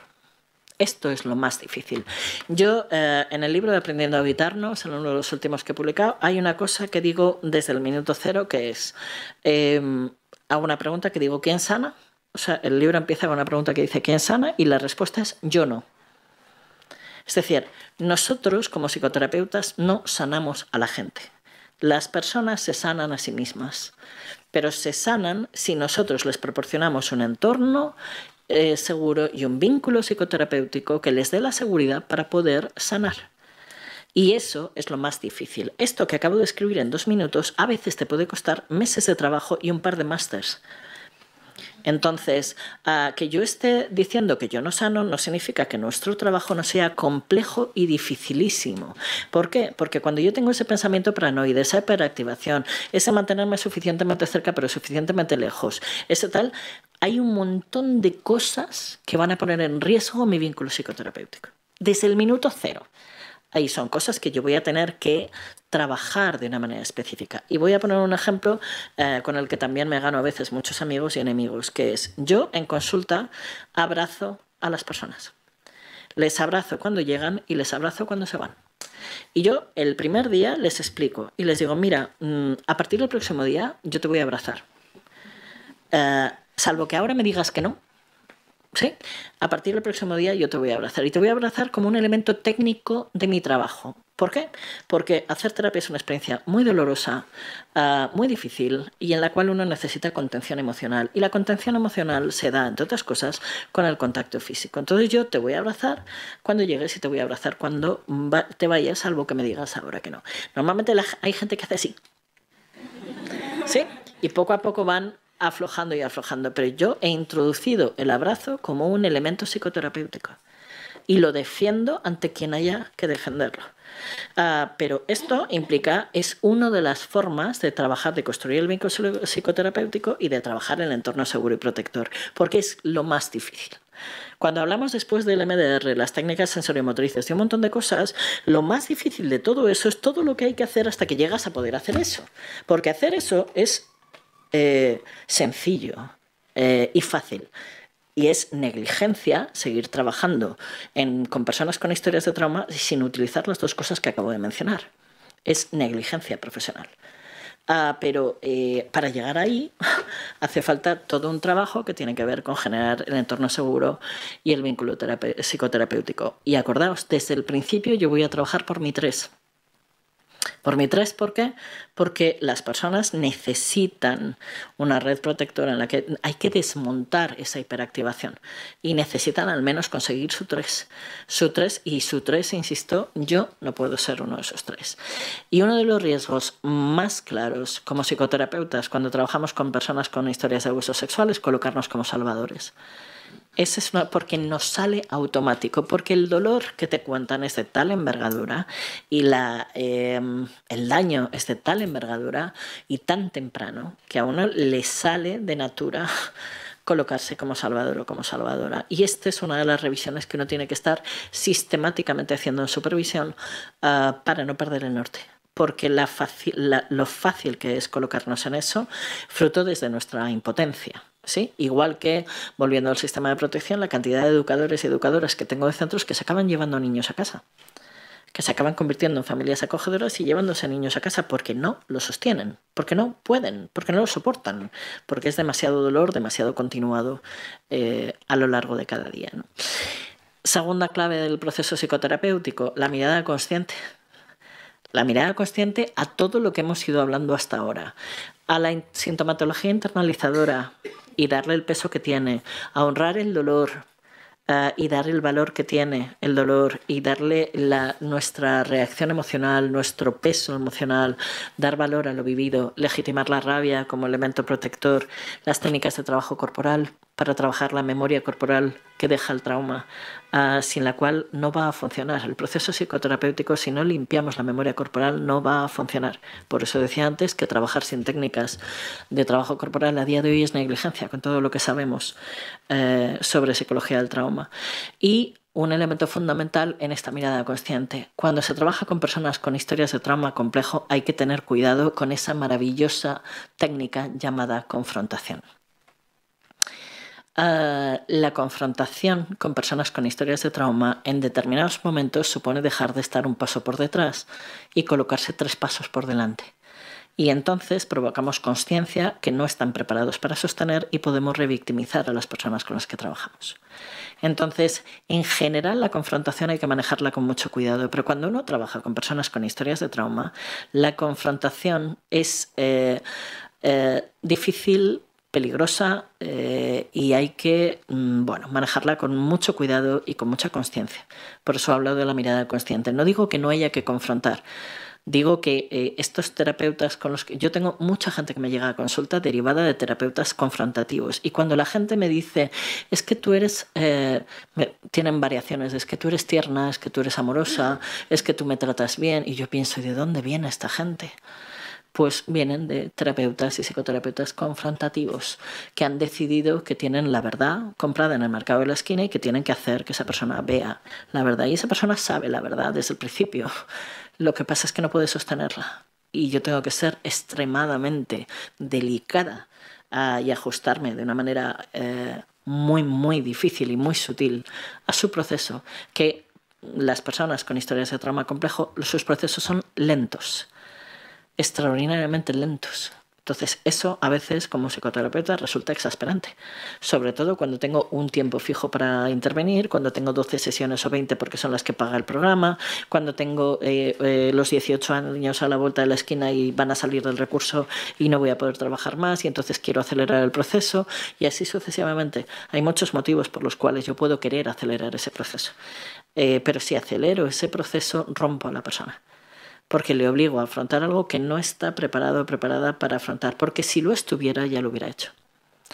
Entonces, eh, la mirada consciente tiene que ver con cuidado, hay que estar todo el rato evaluando lo que la gente hace, no lo que la gente dice. Y en ese lo que la gente hace hay que evaluar cómo están situándose y cómo están colocando su experiencia traumática. Eh, lo he dicho, el trauma debajo de las adicciones, el trauma debajo, o sea, la parálisis, el control, las obsesiones, los trastornos obsesivo-compulsivos, también como sintomatología propia muchas veces de personas con historias de trauma complejo que te aparece, la anestesia emocional, esa planicie emocional, esa, eh, esa incapacidad de sentir.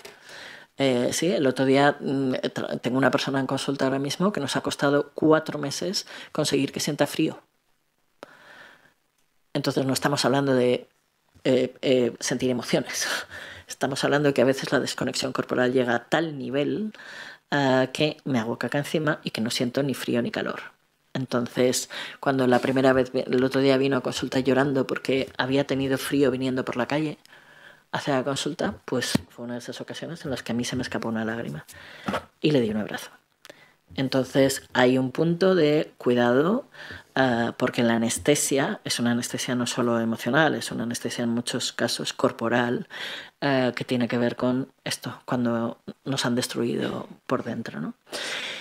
Entonces, el vínculo psicoterapéutico, tanto el vínculo con nosotros como con la red protectora, hay que permitir el duelo, y el duelo incluye la rabia. Yo no me cansaré de decir esto, pero es verdad.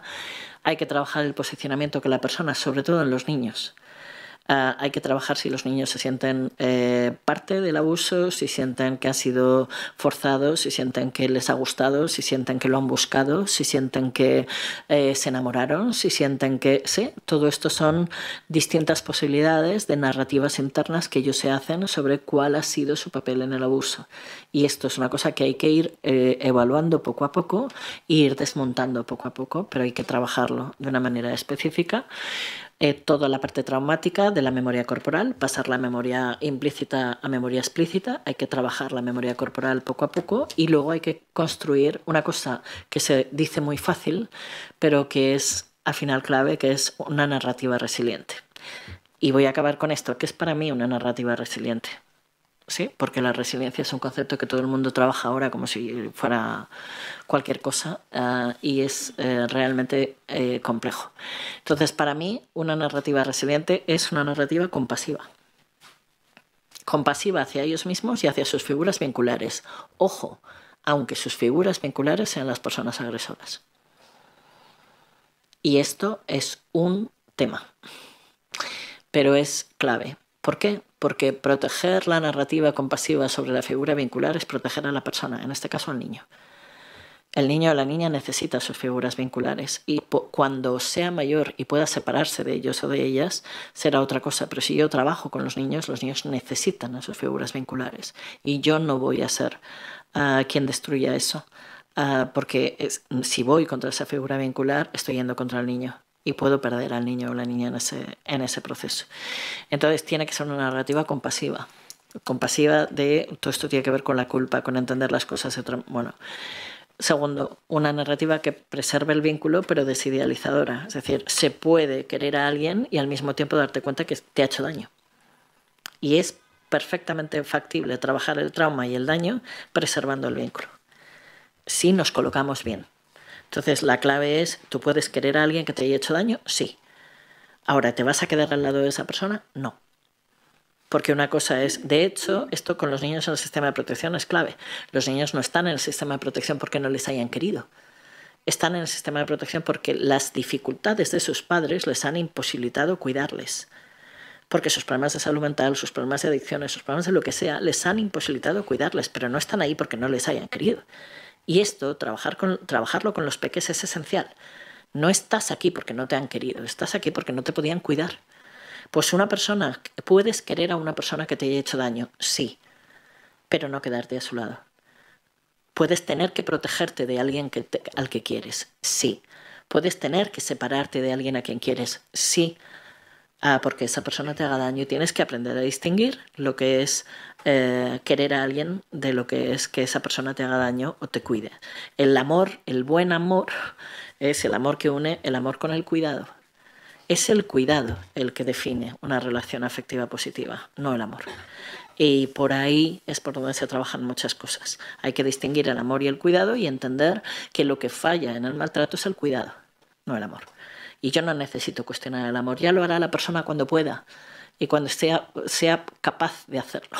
Pero yo lo que voy a cuestionar es el cuidado y lo que voy a decirle es, tú le querías, pero esto te hacía sentir terror, tú le querías, pero te dejaba sin dormir, tú le querías, pero entonces no pasa nada porque le quieras, pero lo importante es que honres todo esto, que hagas consciente todo esto, que lo deshagamos uh, para que puedas seguir adelante. Y si quieres mantener el vínculo, eh, adelante, yo no lo voy a, cuestionar. Es una narrativa desculpabilizadora, esto lo he explicado, el trabajo de la culpa, cambiar el, concepto de la culpa. Es una narrativa de ganancia que está en expresiones de Begoña Aznárez, que es una persona a la que yo, una profesional a la que yo admiro profundamente, y habla de las narrativas tienen que ser narrativas de ganancia. Para que sean resilientes, eh, tiene que haber un aprendizaje en todo eso que se ha vivido. Y en ese sentido, cuidado, y con esto voy a acabar, cuidado con el perdón dentro de la narrativa. Cuidado con es que tienes que perdonar o no tienes que perdonar o es que tienes que odiar. Porque tenemos los dos tal, el tienes que perdonar y tienes que odiar. No, ni tienes que odiar ni tienes que perdonar. El perdón, yo siempre lo trabajo con la gente y le digo, vamos a ver, el perdón tiene como dos niveles. Hay un primer nivel que tiene que ver con desactivar eso. Es decir, que la, que la persona o el acontecimiento te deje de afectar emocionalmente que dejes de sentir rabia, que dejes de sentir odio, que dejes ¿sí? que, que, se desactive emocionalmente la experiencia. Ese es un objetivo mío de trabajo. Yo trabajo para que el trauma se desactive emocionalmente, para que las personas puedan llegar a un momento que puedan hablar de la, de la experiencia traumática sin que les desborde emocionalmente. ¿sí? Entonces, en la primera fase del perdón, que es desactivar, sí, pero hay una segunda fase del perdón, que es reconstruir el vínculo es volverte a fiar de esa persona, es volver a confiar en esa persona. Eso es una opción, nunca es una obligación. Y yo no puedo establecerla como objetivo psicoterapéutico ni siquiera para un niño respecto a su madre o a su padre, ah, porque eso es condenar a una persona a engancharse a una relación destructiva. Entonces, una cosa es que yo trabaje para que la experiencia se desactive y otra cosa muy distinta es que en esa narrativa yo trabajé para conducir a esa persona a reconstruir el vínculo con la persona abusadora o con la persona maltratante, sea quien sea esa persona abusadora o esa persona maltratante. Eso es una opción. El reconstruir el vínculo es una opción y es una opción que solo se puede tomar. Hay dos condiciones para tomar esa opción que yo las trabajo siempre en consulta. La primera es el reconocimiento del daño Nunca se puede ir a la reconstrucción del vínculo si no ha habido un reconocimiento del daño y una asunción de la responsabilidad sobre ese daño, eh, que implica una conciencia de ese daño, que no siempre, en la mayoría de los casos, no se da. Y segundo, si hay, si la persona se siente suficientemente fuerte como para hacerlo, como para arriesgarse. Entonces, yo no le voy a decir a la persona, hazlo, ni debes hacerlo, ni es que te va a sentar bien hacerlo, ni es que esto es parte del proceso, ni nada por el estilo que se dice ah, de forma demasiado alegre eh, en los casos de maltrato y de abuso. ¿Sí? Entonces es cuidado con el perdón dentro de esta narrativa resiliente. Que yo pueda desactivar algo no significa que pueda, que decida, yo puedo perdonar a mi madre o a mi padre y no volver a tener relación con ellos jamás. Y eso es una narrativa resiliente. ¿Por qué? Porque decida, porque decido que desde la mirada consciente a su problemática, eh, entiendo que si me acerco a ellos me van a volver a hacer daño. Y entonces decido mantenerme alejada de ellos pero al mismo tiempo entiendo que todo el daño que me han producido me lo han producido desde su problemática y desde su dificultad. No porque no me hayan querido ni porque hayan querido hacerme daño, sino desde su problemática y su dificultad. Entonces yo decido alejarme de esas personas y hablo de la madre y el padre porque son los más difíciles en esto, ¿no? Pero puede ser la pareja, puede ser cualquier otra persona. Yo decido alejarme de esa persona, pero puedo perfectamente desactivar emocionalmente y que ese daño no me acabe eh, pasando factura o no me siga pasando factura a lo largo de la vida. Hay una imagen, eh, bueno, aquí os he dejado eh, tres referencias que creo que merecen la pena para ampliar eh, todo esto que os estoy contando, las dos primeras están colgadas libres porque en, en, Espirales, en la consultoría donde yo trabajo, tenemos la mala costumbre de publicar todo lo que podemos libre en la red para que la gente pueda descargárselo y utilizarlo. Y el último es un libro publicado que elaboré con las eh, eh, psicólogas que trabajan en la unidad especializada en abuso sexual infantil que hay en Baleares, que les pedí, yo coordiné con ellas el libro, pero les pedí que pusieran, que tenían que describir cómo hacían el trabajo, porque la gente está muy poco acostumbrada a escribir sobre lo que hace dentro del despacho. Eh, entonces, yo estoy muy empeñada últimamente en tratar de que la gente sistematice lo que hace, porque es la única manera de poderlo replicar. Entonces, ellas sistematizaron el trabajo que hacen con un niño desde que entra en la consulta hasta que le dan de alta en este libro. Entonces, me parece que merece la pena conocerlo. Ah, y hay una imagen con la que quiero acabar. Yo suelo explicarles a las personas que eh, la memoria es como una especie de mueble de cajoncitos ¿Sabéis estos muebles de cajoncitos? Yo digo, cuando uno aprende a sumar y a restar, no está sumando y restando todo el día. Uno aprende a sumar y restar y abre el cajón cuando va a hacer la compra, o cuando hace la declaración de Hacienda, o cuando devuelve las vueltas en una compra. Pero el resto del tiempo el cajón de las sumas y las restas está cerrado, porque si uno está sumando y restando todo el día se vuelve loco. ¿sí?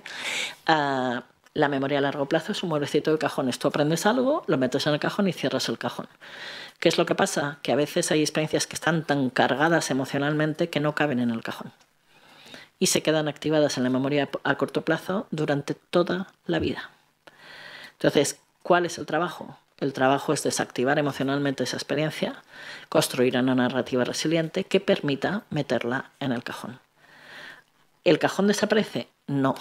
El cajón se abrirá igual que si yo tengo un accidente de coche. El cajón se abre cada vez que paso por donde tuve el accidente, cada cuando me vuelvo a montar en coche, cuando vuelvo a ir con las personas con las que estaba, cuando tuve... Hay un montón de disparadores que hacen que se vuelva a abrir el cajón.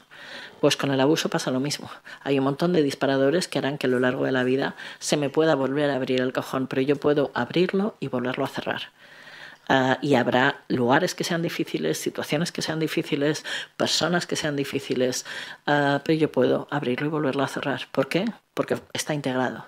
La integración es lo que el objetivo con el trauma, no borrarlo, ni superarlo, ni olvidarlo, es integrarlo. Integrarlo supone aceptar que en tu edificio tienes un cajón que no te gusta ni un pelo y que te duele horrores y que ojalá no hubieras tenido que vivir y que tener, pero lo tienes y no se va a ir es un cajón que está dentro ah, de tu memoria a largo plazo y debes aprender a vivir con ello.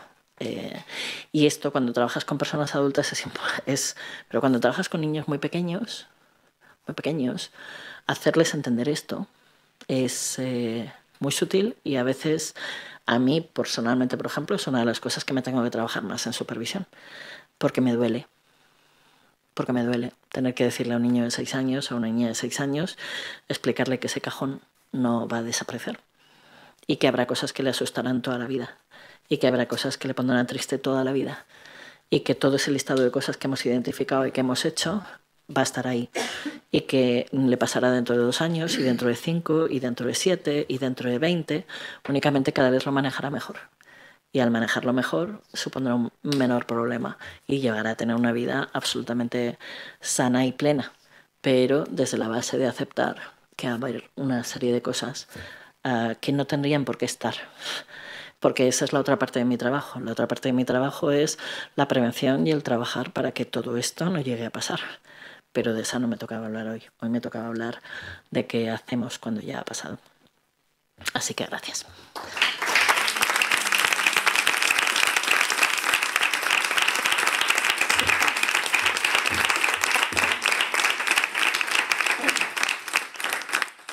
Creo que no me equivocaba cuando decía que era una maestra, ¿verdad? A que sí, nos ha dejado a todos con la boca abierta. Yo sigo aprendiendo de ella y, es más, Pepa, hay muchas cosas que, igual que tú has contado ahora lo, de, lo del edificio, lo de las casas, lo de... Yo no lo puedo evitar, ¿no? Cuando luego yo voy a dar una charla, utilizar todas estas cosas, ¿no? Y esas frases que yo me he quedado ahí, pero siempre la nombro. Eso sí porque no se crean que es, mío, sino que es de ella. Eh, creo que es un ejemplo y que, bueno, podríamos estar hablando con ella horas, ¿verdad? Es vuestro tiempo y el tiempo de las personas que están en videoconferencia de poder preguntar y podernos aprovechar. Yo es que me, me, quedaría otras dos horas más. He dicho que me tenía que ir a otra cosa y no me he ido. No he sido capaz. Tenéis la palabra.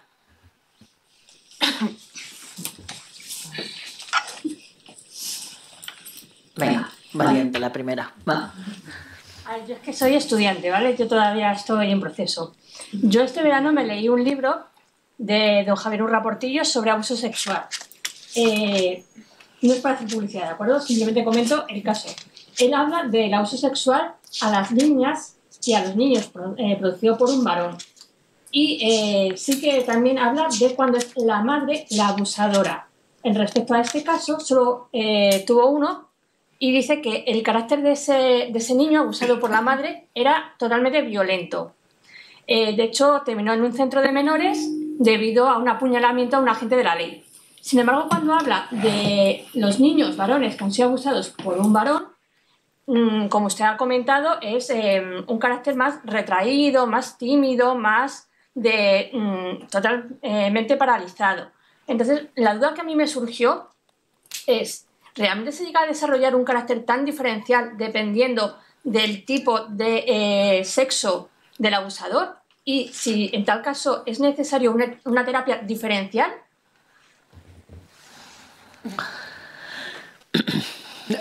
Antes de que conteste ella, ella tiene una teoría que la dice siempre, eso de Pepa, eso que, ha levantado muchas polémicas en muchas ocasiones, ¿verdad?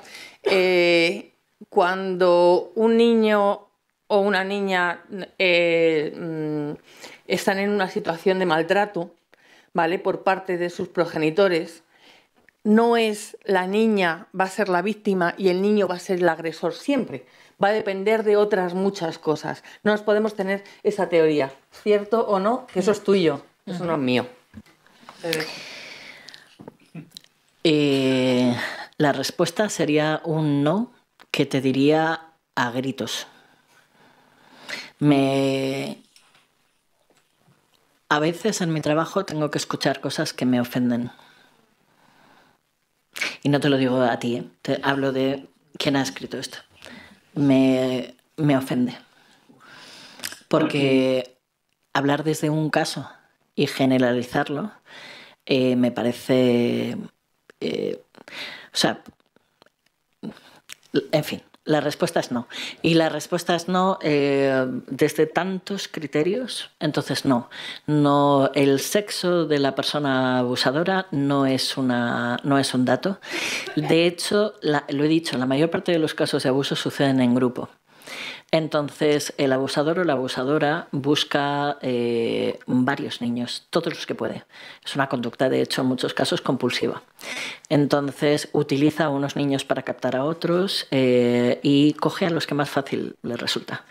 Y, em, el abuso por parte de mujeres, que es menos frecuente, yo todos los casos que he tenido, eh, sí que es esa ambivalencia de la que hablaba, eh, y de la que describía cuando hablaba de las sensaciones corporales mezcladas, la manera de acercarse al abuso es diferente en las mujeres que en los hombres, eh, porque la educación es diferente, porque hay un elemento aquí de desigualdad evidente y de crianza y de manera de relacionarse diferente.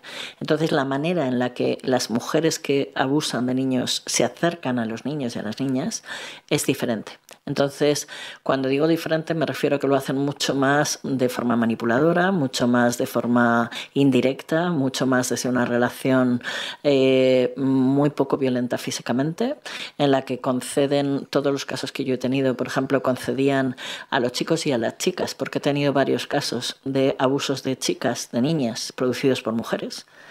Eh, eh, les concedían a ellos y a ellas un rol activo en la relación sexual con ellas ah, que eh, no es tan frecuente entre los hombres.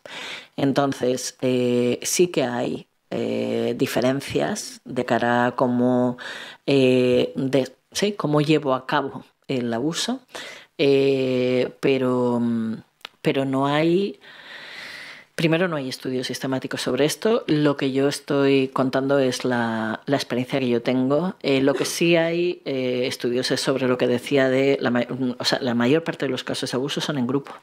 Y esto es una cosa que yo digo muchas veces para romper este esquema de eh, abuso como una cosa que pasa entre dos. Porque la persona que abusa no abusa solo de un niño, abusa de todos los que puede.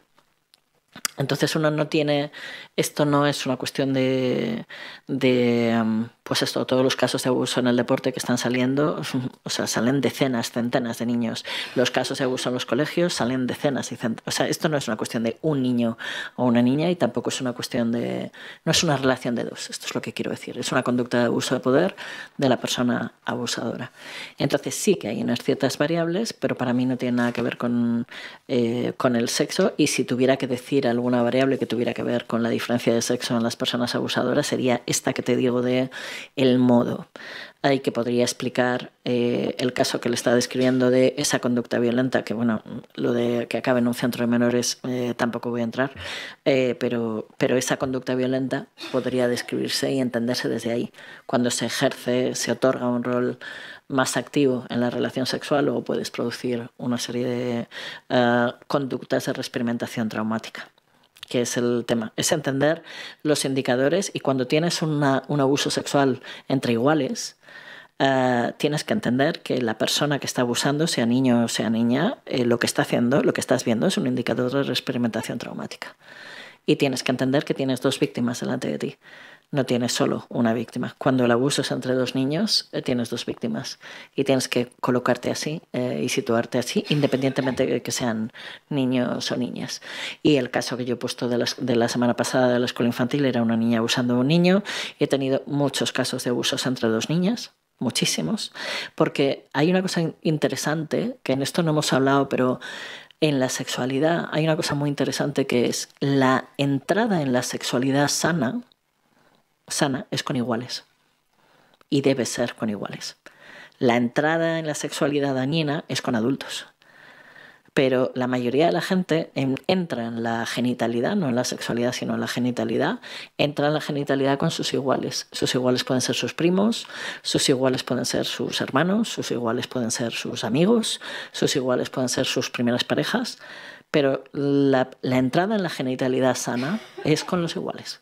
Entonces, la posibilidad del abuso en la entrada en la genitalidad es muy alta, muy alta, pero no desde el abuso como se entiende el abuso de la persona adulta al niño, sino desde esta experimentación eh, que se puede en determinados momentos cargar de una, un componente de abuso de poder eh, no planificado, no, no diseñado. ¿no? ¿Sí? Entonces sí que hay una diferencia, mm, para mí no hay una diferencia entre el sexo de las personas abusadoras, pero sí hay diferencias que hay que tener en cuenta y de las que no he hablado entre el abuso entre dos niños, entre iguales, del abuso de personas adultas a los niños.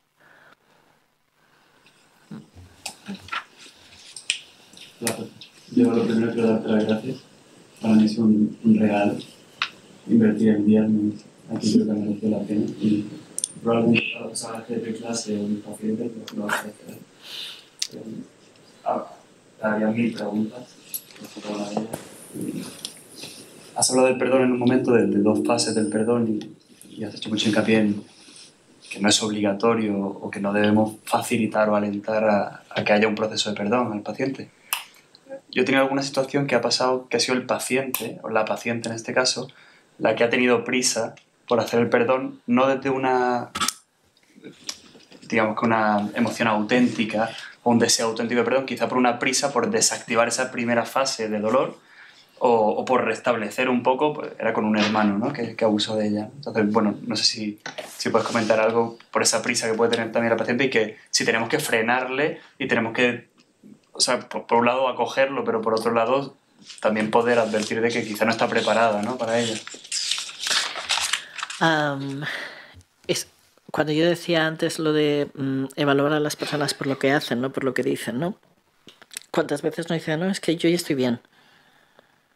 Sí, tú dices, espérate que empecemos a... Mm, y te cuento si estás bien o no estás bien. Pues esto es un poco igual. Es que yo estoy preparada.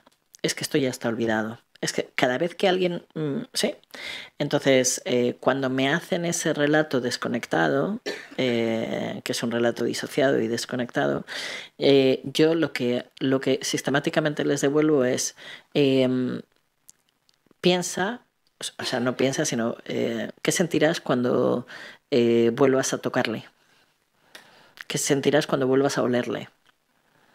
¿Sí? Y les hago recuperar elementos sensoriales del abuso. ¿Sí? les digo, porque esto no es una cuestión de que hables con él, es una cuestión de qué pasará el primer día que comas con él. Y que veas cómo la... Mm, y hablo de este ejemplo porque es un ejemplo que siempre sale en las historias de abuso, la boca y la comida. Porque eh, la cantidad de abuso oral que hay, la cantidad de sexo oral, la cantidad... ¿sí? Entonces la boca se convierte en un tema. De hecho, esta es una de las cosas, mira, esto se me ha olvidado decirlo. Eh, una de las cosas eh, sistemáticas que me encuentro en las personas es las dificultades con el dentista. Eh, porque el dentista reúne dos condiciones fundamentales. Uno, estás boca arriba y sujeto. Sí, sujeto porque tienes la persona aquí, que es exactamente la misma posición que tienen en el abuso. Entonces, para muchas personas, ir al dentista, hay muchas personas que tienen pánico en el dentista como sintomatología eh, retraumática, de reexperimentación traumática. Eh, y esto alivia mucho explicárselo a la gente. Y explicarles que tiene que ver con la posición en la que están y con tener a alguien aquí encima, en la boca y con la boca. ¿Sí? Entonces, yo lo que suelo hacer es eh, testarles con sensaciones corporales cuando, cuando les pones el ejemplo corporal, hacen así, ¿sí? Y entonces les dices, ¿has visto el gesto que acabas de tener? Entonces piensa que volver a hablar con él no significa solo, ¿sí? Piensa restablecer la relación significa recuperar la cotidianidad corporal con esa persona. Entonces tienes que estar segura o seguro de que recuperar todas esas sensaciones corporales no te va a desbordar. Entonces no les digo sí, no les digo no. Lo que hago es tratar de que testen a nivel corporal eh, su decisión, porque no creo que deba decirles que no. Sí, no creo que deba alentarlos, por lo que he explicado sobre el perdón, pero no creo que deba decirles que no, porque eh, es su proceso. Entonces, en ese sentido, lo que ellos deciden hacer, yo he dicho, el perdón es una opción si ellos deciden entrar en esa opción, si lo hacen de forma, lo que, lo que trato es de que no lo hagan de, que lo hagan de forma integrada, no, no, no disociada. Y esa sí que es mi responsabilidad tratar de acompañar ese proceso, ¿no? Pero yo no les voy a decir que no. me sumo agradecimiento y también a las personas que están traduciendo porque me está magnificando también cómo, cómo están haciendo la labor. Eh, me ha encantado y genera una visión muy diferente a lo que se estudia en los libros y en la carrera. Eh, también, ojalá mil preguntas, pero una concreta respecto a lo de las tres figuras de seguridad. Eh, yo suelo trabajar con adultos, no con niños, entonces aparece mucho la vergüenza, con, a quién se lo cuento, no quiero, quiero guardar este secreto. Eh, ¿Cómo se explica o por qué son tres personas de, de seguridad si no así? Uh, ¿Ves cómo merece la pena la ronda de preguntas? Uh, porque ahí es cuando salen las cosas que se me han olvidado. Y es, uno de los indicadores de integración es que, y voy a utilizar de nuevo a Begoña. Begoña dice, para tener una experiencia traumática integrada tienes que poder hablar de ello, eh, soñar con ello eh, y pensar en ello. Pensar en ello, hablar de ello y soñar con ello. Entonces, una experiencia integrada es una experiencia de la que puedes hablar. Si no puedes hablar de ello es porque no está integrada. Entonces, la vergüenza, eh, si tú tienes vergüenza para hablar de, de lo que te ha pasado, es decir, si tú quieres establecer una relación de pareja auténtica y tienes una historia de abuso sexual, se lo tienes que contar. Porque si no, hay un montón de cosas de ti que nunca va a entender. Entonces, hay una, yo me he encontrado con muchos casos de parejas que se han sentido engañadas y timadas y tienen razón cuando la persona después de siete años o de diez años de estar juntos, de repente le cuentan esto y, y la persona tiene la sensación de ¿con quién he estado? Pues con esa persona de estate suficientemente cerca pero suficientemente lejos.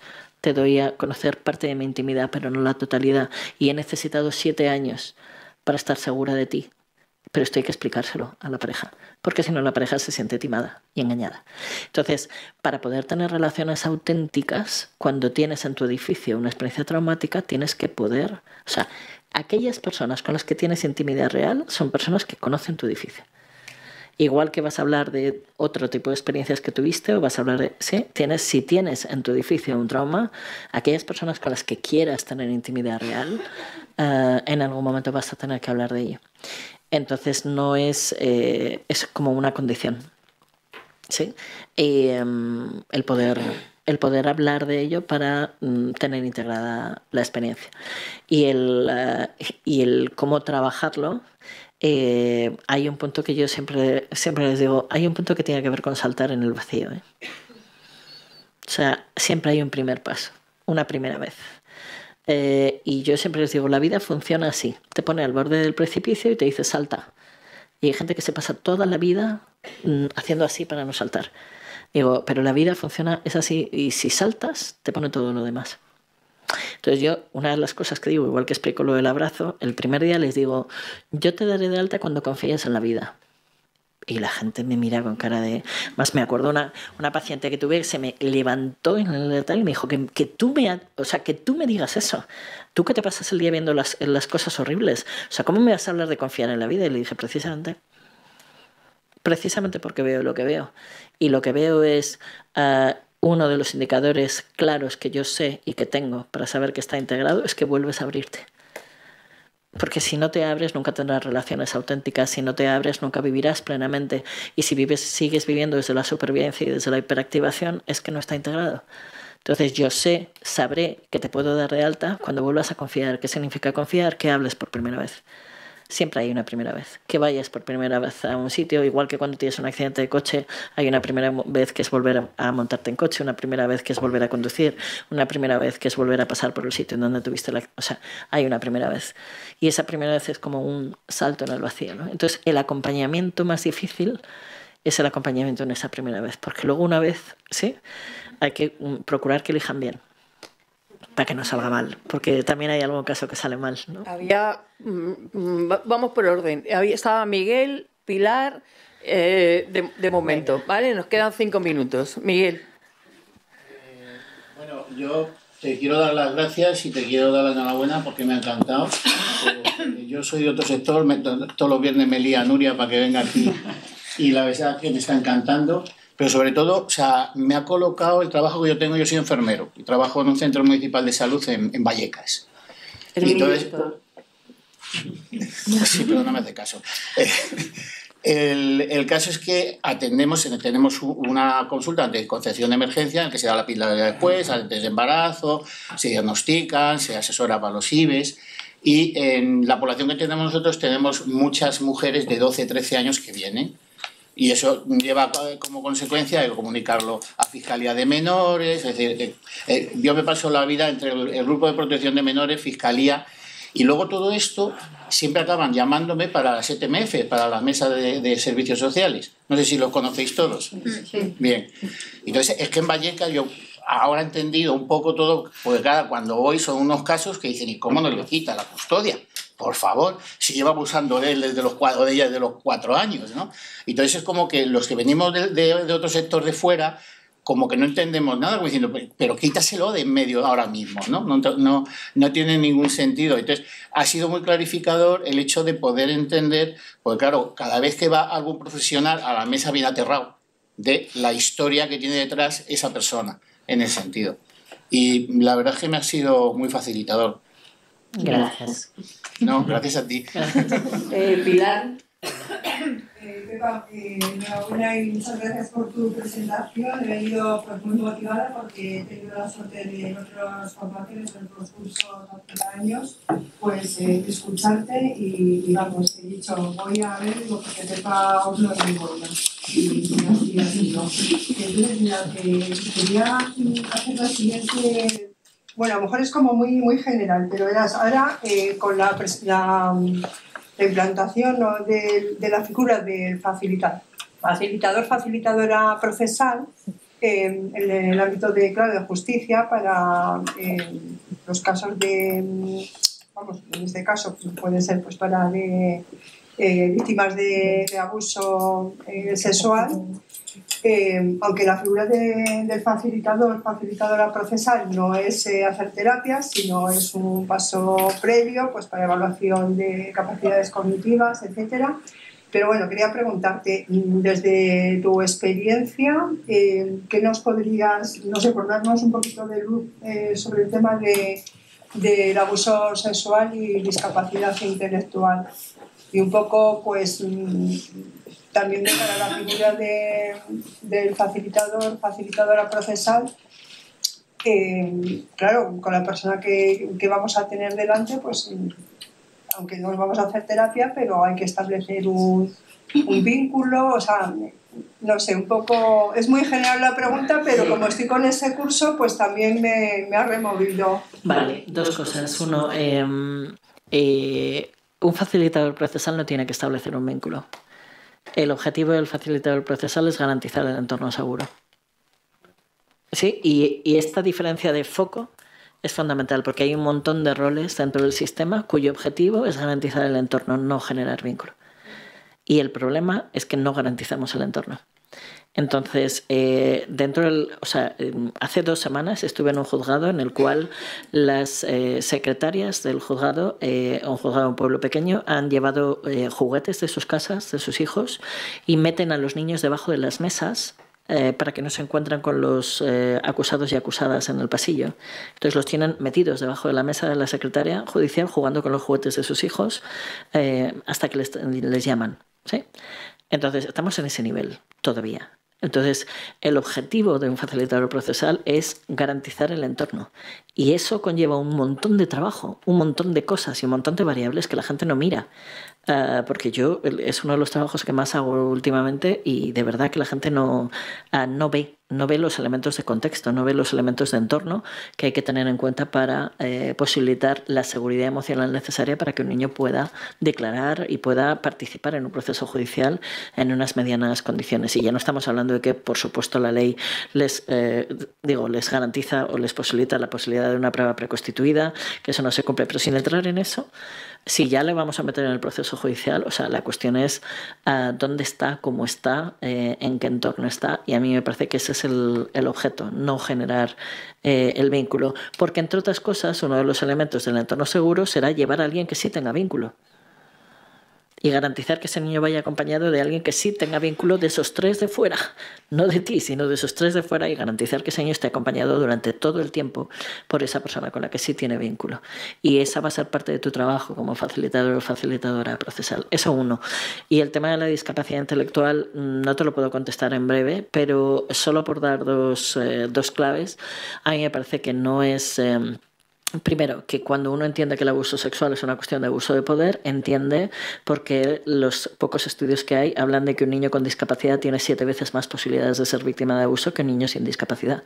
Porque si yo busco una relación de poder, voy a buscar a los más vulnerables y a los más vulnerables de los más vulnerables. Y entonces, esta cosa que hemos llegado y que nos ha costado tanto de entender que la vulnerabilidad no viene en mi condición, sino en que la sociedad no me garantiza las condiciones de igualdad y eso me coloca automáticamente en posición de vulnerabilidad nos vuelve al entorno y nos vuelve a que el entorno no garantiza las condiciones de la misma manera para un niño uh, con discapacidad que para un niño sin discapacidad. Y voy a poner un ejemplo muy fácil, ni, ni, ni, discapacidad intelectual, discapacidad física.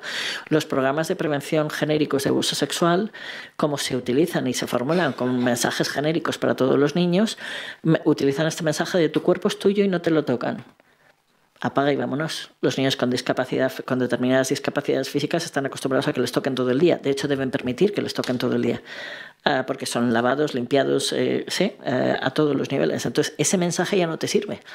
Estamos utilizando mensajes de prevención genéricos para una población que necesita unos mensajes específicos y aprender a distinguir lo que es un contacto físico protector de lo que es un contacto físico dañino, que ese es el verdadero mensaje o sea, nos estamos equivocando cuando simplificamos los mensajes de prevención, por eso digo que la parte de prevención es otra, otra cuestión. Pero es por poner un ejemplo para entender que si yo entiendo que el abuso es un abuso, está basado en la relación de poder, evidentemente los llamados grupos vulnerables, eh, que lo son porque la sociedad lo genera, genera la vulnerabilidad, tienen una probabilidad muchísimo más alta de ser víctimas de abuso y como tales, eh, el elemento que yo decía al principio en la primera transparencia de no es lo mismo el daño que la conciencia del daño, la clave en discapacidad intelectual es evaluar el daño, porque no va a haber conciencia del daño porque en muchas ocasiones no van a tener ni capacidad para adquirir esa conciencia, pero sí van a tener los indicadores.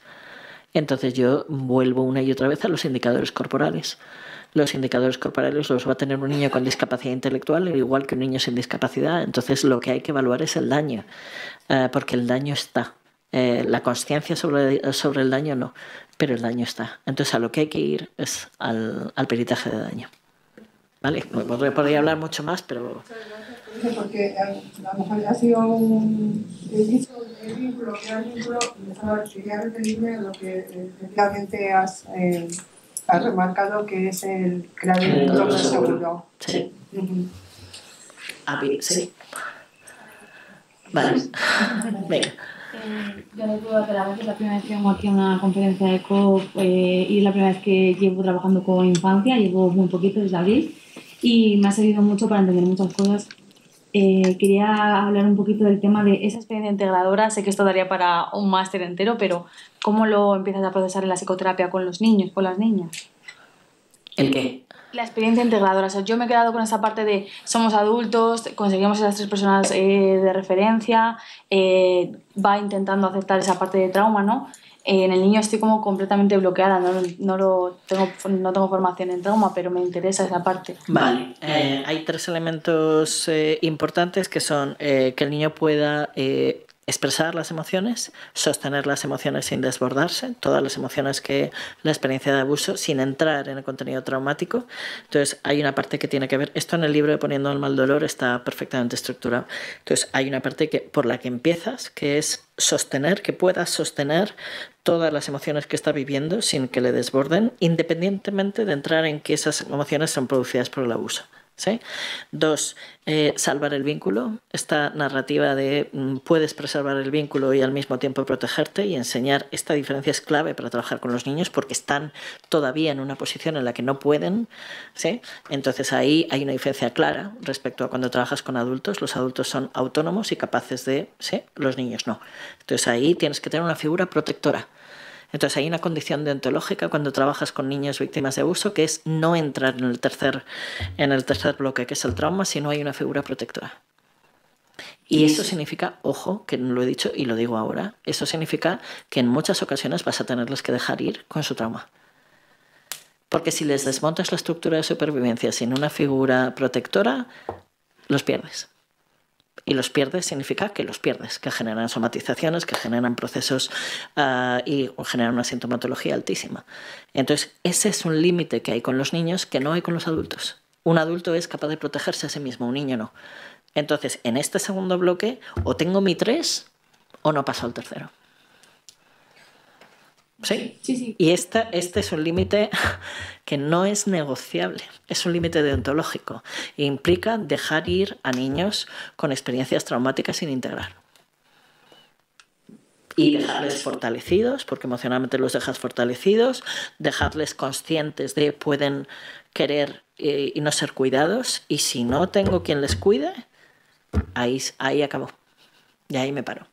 Y eh, si tengo quien les cuide y tengo una figura protectora, entro en el tercer nivel, que es construir la narrativa a través del juego de la terapia de juego y de los cuentos, vas construyendo la narrativa integradora y vas trabajando con MDR y con terapia sensoriomotriz, esa narrativa integradora que has construido a través del juego. Entonces, entre el juego, la terapia sensoriomotriz y el MDR, yo son los tres elementos que utilizo de forma sistemática, vas construyendo esa narrativa y posibilitando que la vayan integrando. Pero esta parte, en la mayoría de los casos, las sesiones se hacen con la persona eh, protectora. Entonces no se hacen solo con el niño. Ah, porque el niño necesita tener a alguien allí. Entonces yo no las hago sola con el niño, con lo cual nunca voy a entrar si no tengo esa figura, esa figura protectora. Vamos a la última pregunta porque nos hemos pasado de, de la hora completamente. Venga. Bueno, voy a intentar ser rápida en la pregunta porque creo que también da para pero a mí se me venía a la mente durante toda la conferencia el, el caso de una paciente que llegó a consulta con sospecha de haber sido víctima de abuso sexual infantil, pero sin un recuerdo explícito de ello. ¿no? A día de hoy lleva años, no hemos conseguido lograr ningún recuerdo y yo siento que con ella la parte que más me cuesta es validar sin que haya ese recuerdo. Entonces no sé cómo tú esto lo haces en consulta cuando pues los indicadores indican claramente que sí hay, pero no hay un recuerdo de la experiencia. Vale, eh, dos cosas. Eh, estoy tratando de contestar en breve a todas las preguntas que me estáis haciendo, pero eh, dos cosas clave. Eh, lo voy a repetir en alto porque creo que no, no se te habrá oído, pero cómo validar eh, cuando no hay un recuerdo explícito, cómo validar eh, la vivencia del abuso. para mí hay dos claves que son nucleares. Uno, yo les digo a, la, a, las personas desde que entran constantemente, no necesitas recordar. ¿Sí? ¿Cómo sé que has sido víctima de abuso? Eh, uno, por tu conocimiento de tripas, es decir, por tu memoria corporal, porque algo dentro de ti hay, sí, hay un conocimiento implícito, pero sobre todo por todos estos indicadores que te voy devolviendo y que voy trabajando contigo que puedas hacer consciente y te explico que esto te pasa por esto. Y entonces hay muchas sesiones de, ah, pero entonces esto también. Ah, pero entonces esto también. Sí, esto también. Y esto otro también. ¿Y te acuerdas de esto? ¿Te acuerdas de lo que hablamos el otro día? Pues te pasa por esto. Y esto también. Y lo otro también. Y entonces van acumulando evidencia acumulativa. Evidencia acumulativa. Y hay un punto en el que dices, ¿ves? O sea, todo esto no te pasaría si no hubiera habido un abuso. Pero dos, eh, que no quiero olvidar. Eh, en mi experiencia, se trabajan mal los indicadores sensoriales. Es decir, hay muchos recuerdos que no se llegan a tener recuerdos eh, episódicos o recuerdos completos, pero sí, se hay memoria sensorial, sobre todo cuando el abuso fue muy temprano. Entonces hay colores, hay sabores, hay olores, hay, y en mi experiencia, el MDR con eh, eh, estímulos sensoriales funciona muy bien y la gente no tiene costumbre de utilizarlo. Utilizan, sí, utilizan el MDR cuando hay un recuerdo completo. Y el MDR con estímulos sensoriales hay que saber hacerlo, ¿eh? pero el MDR con estímulos sensoriales funciona muy bien. Entonces, eh, hay muchos recuerdos que no se llegan a tener completos, pero sí se tienen olores, sí se tienen sabores, sí se tienen de los que puedes tirar. Y trabajando con MDR desde ahí eh, se llega a recuperar mucha, mucha memoria disociada. Pero ya te digo que para mí la clave es que el objetivo no es recordar. El objetivo es sanar el daño y ese daño existe porque hubo abuso. Ah, entonces, esa, esa secuencia es la en la que hay que situarse y la que libera a la persona y le permite, en determinadas, en la mayoría de los casos, acabar recordando. Pero si no recuerda, para mí no, es que no pasa nada. No es, eh, no es la clave ni el objetivo con aquello. Porque yo le digo, no vas a recordar nada, porque esto es fundamental. No vas a recordar nada que no puedas sostener, no vas a hablar de nada que no puedas sostener. Entonces, tranquilidad. Si no recuerdas es porque tu cerebro vive mejor no recordando. No pasa nada. Mientras quites la sintomatología. Bueno, eh, muchísimas gracias a todos y todas vosotras y las personas que están en videoconferencia. Muchísimas gracias, Pepa, porque es difícil tenerla aquí en Madrid. ¿eh? Nos cuesta, nos cuesta, pero de vez en cuando lo, lo conseguimos. Y yo quería recordaros que la próxima actividad de Hablemos de Sexualidad es el día 27. Eh, el título es Jornada de Violencia Sexual y de Género. ¿Qué estamos haciendo? La va a coordinar Alejandro y, va a estar Teresa Guillén, que es, bueno, María Teresa, que es fiscal de, sala de, de menores de la Fiscalía General. Eh, va a estar Olga Barroso, que también es un referente en violencia de, de género y creo que voy a estar yo también. ¿Vale? Eh, os invito a que estéis y que muchísimas gracias porque un viernes por la tarde no es fácil estar aquí. Gracias a todos vosotros y vosotras.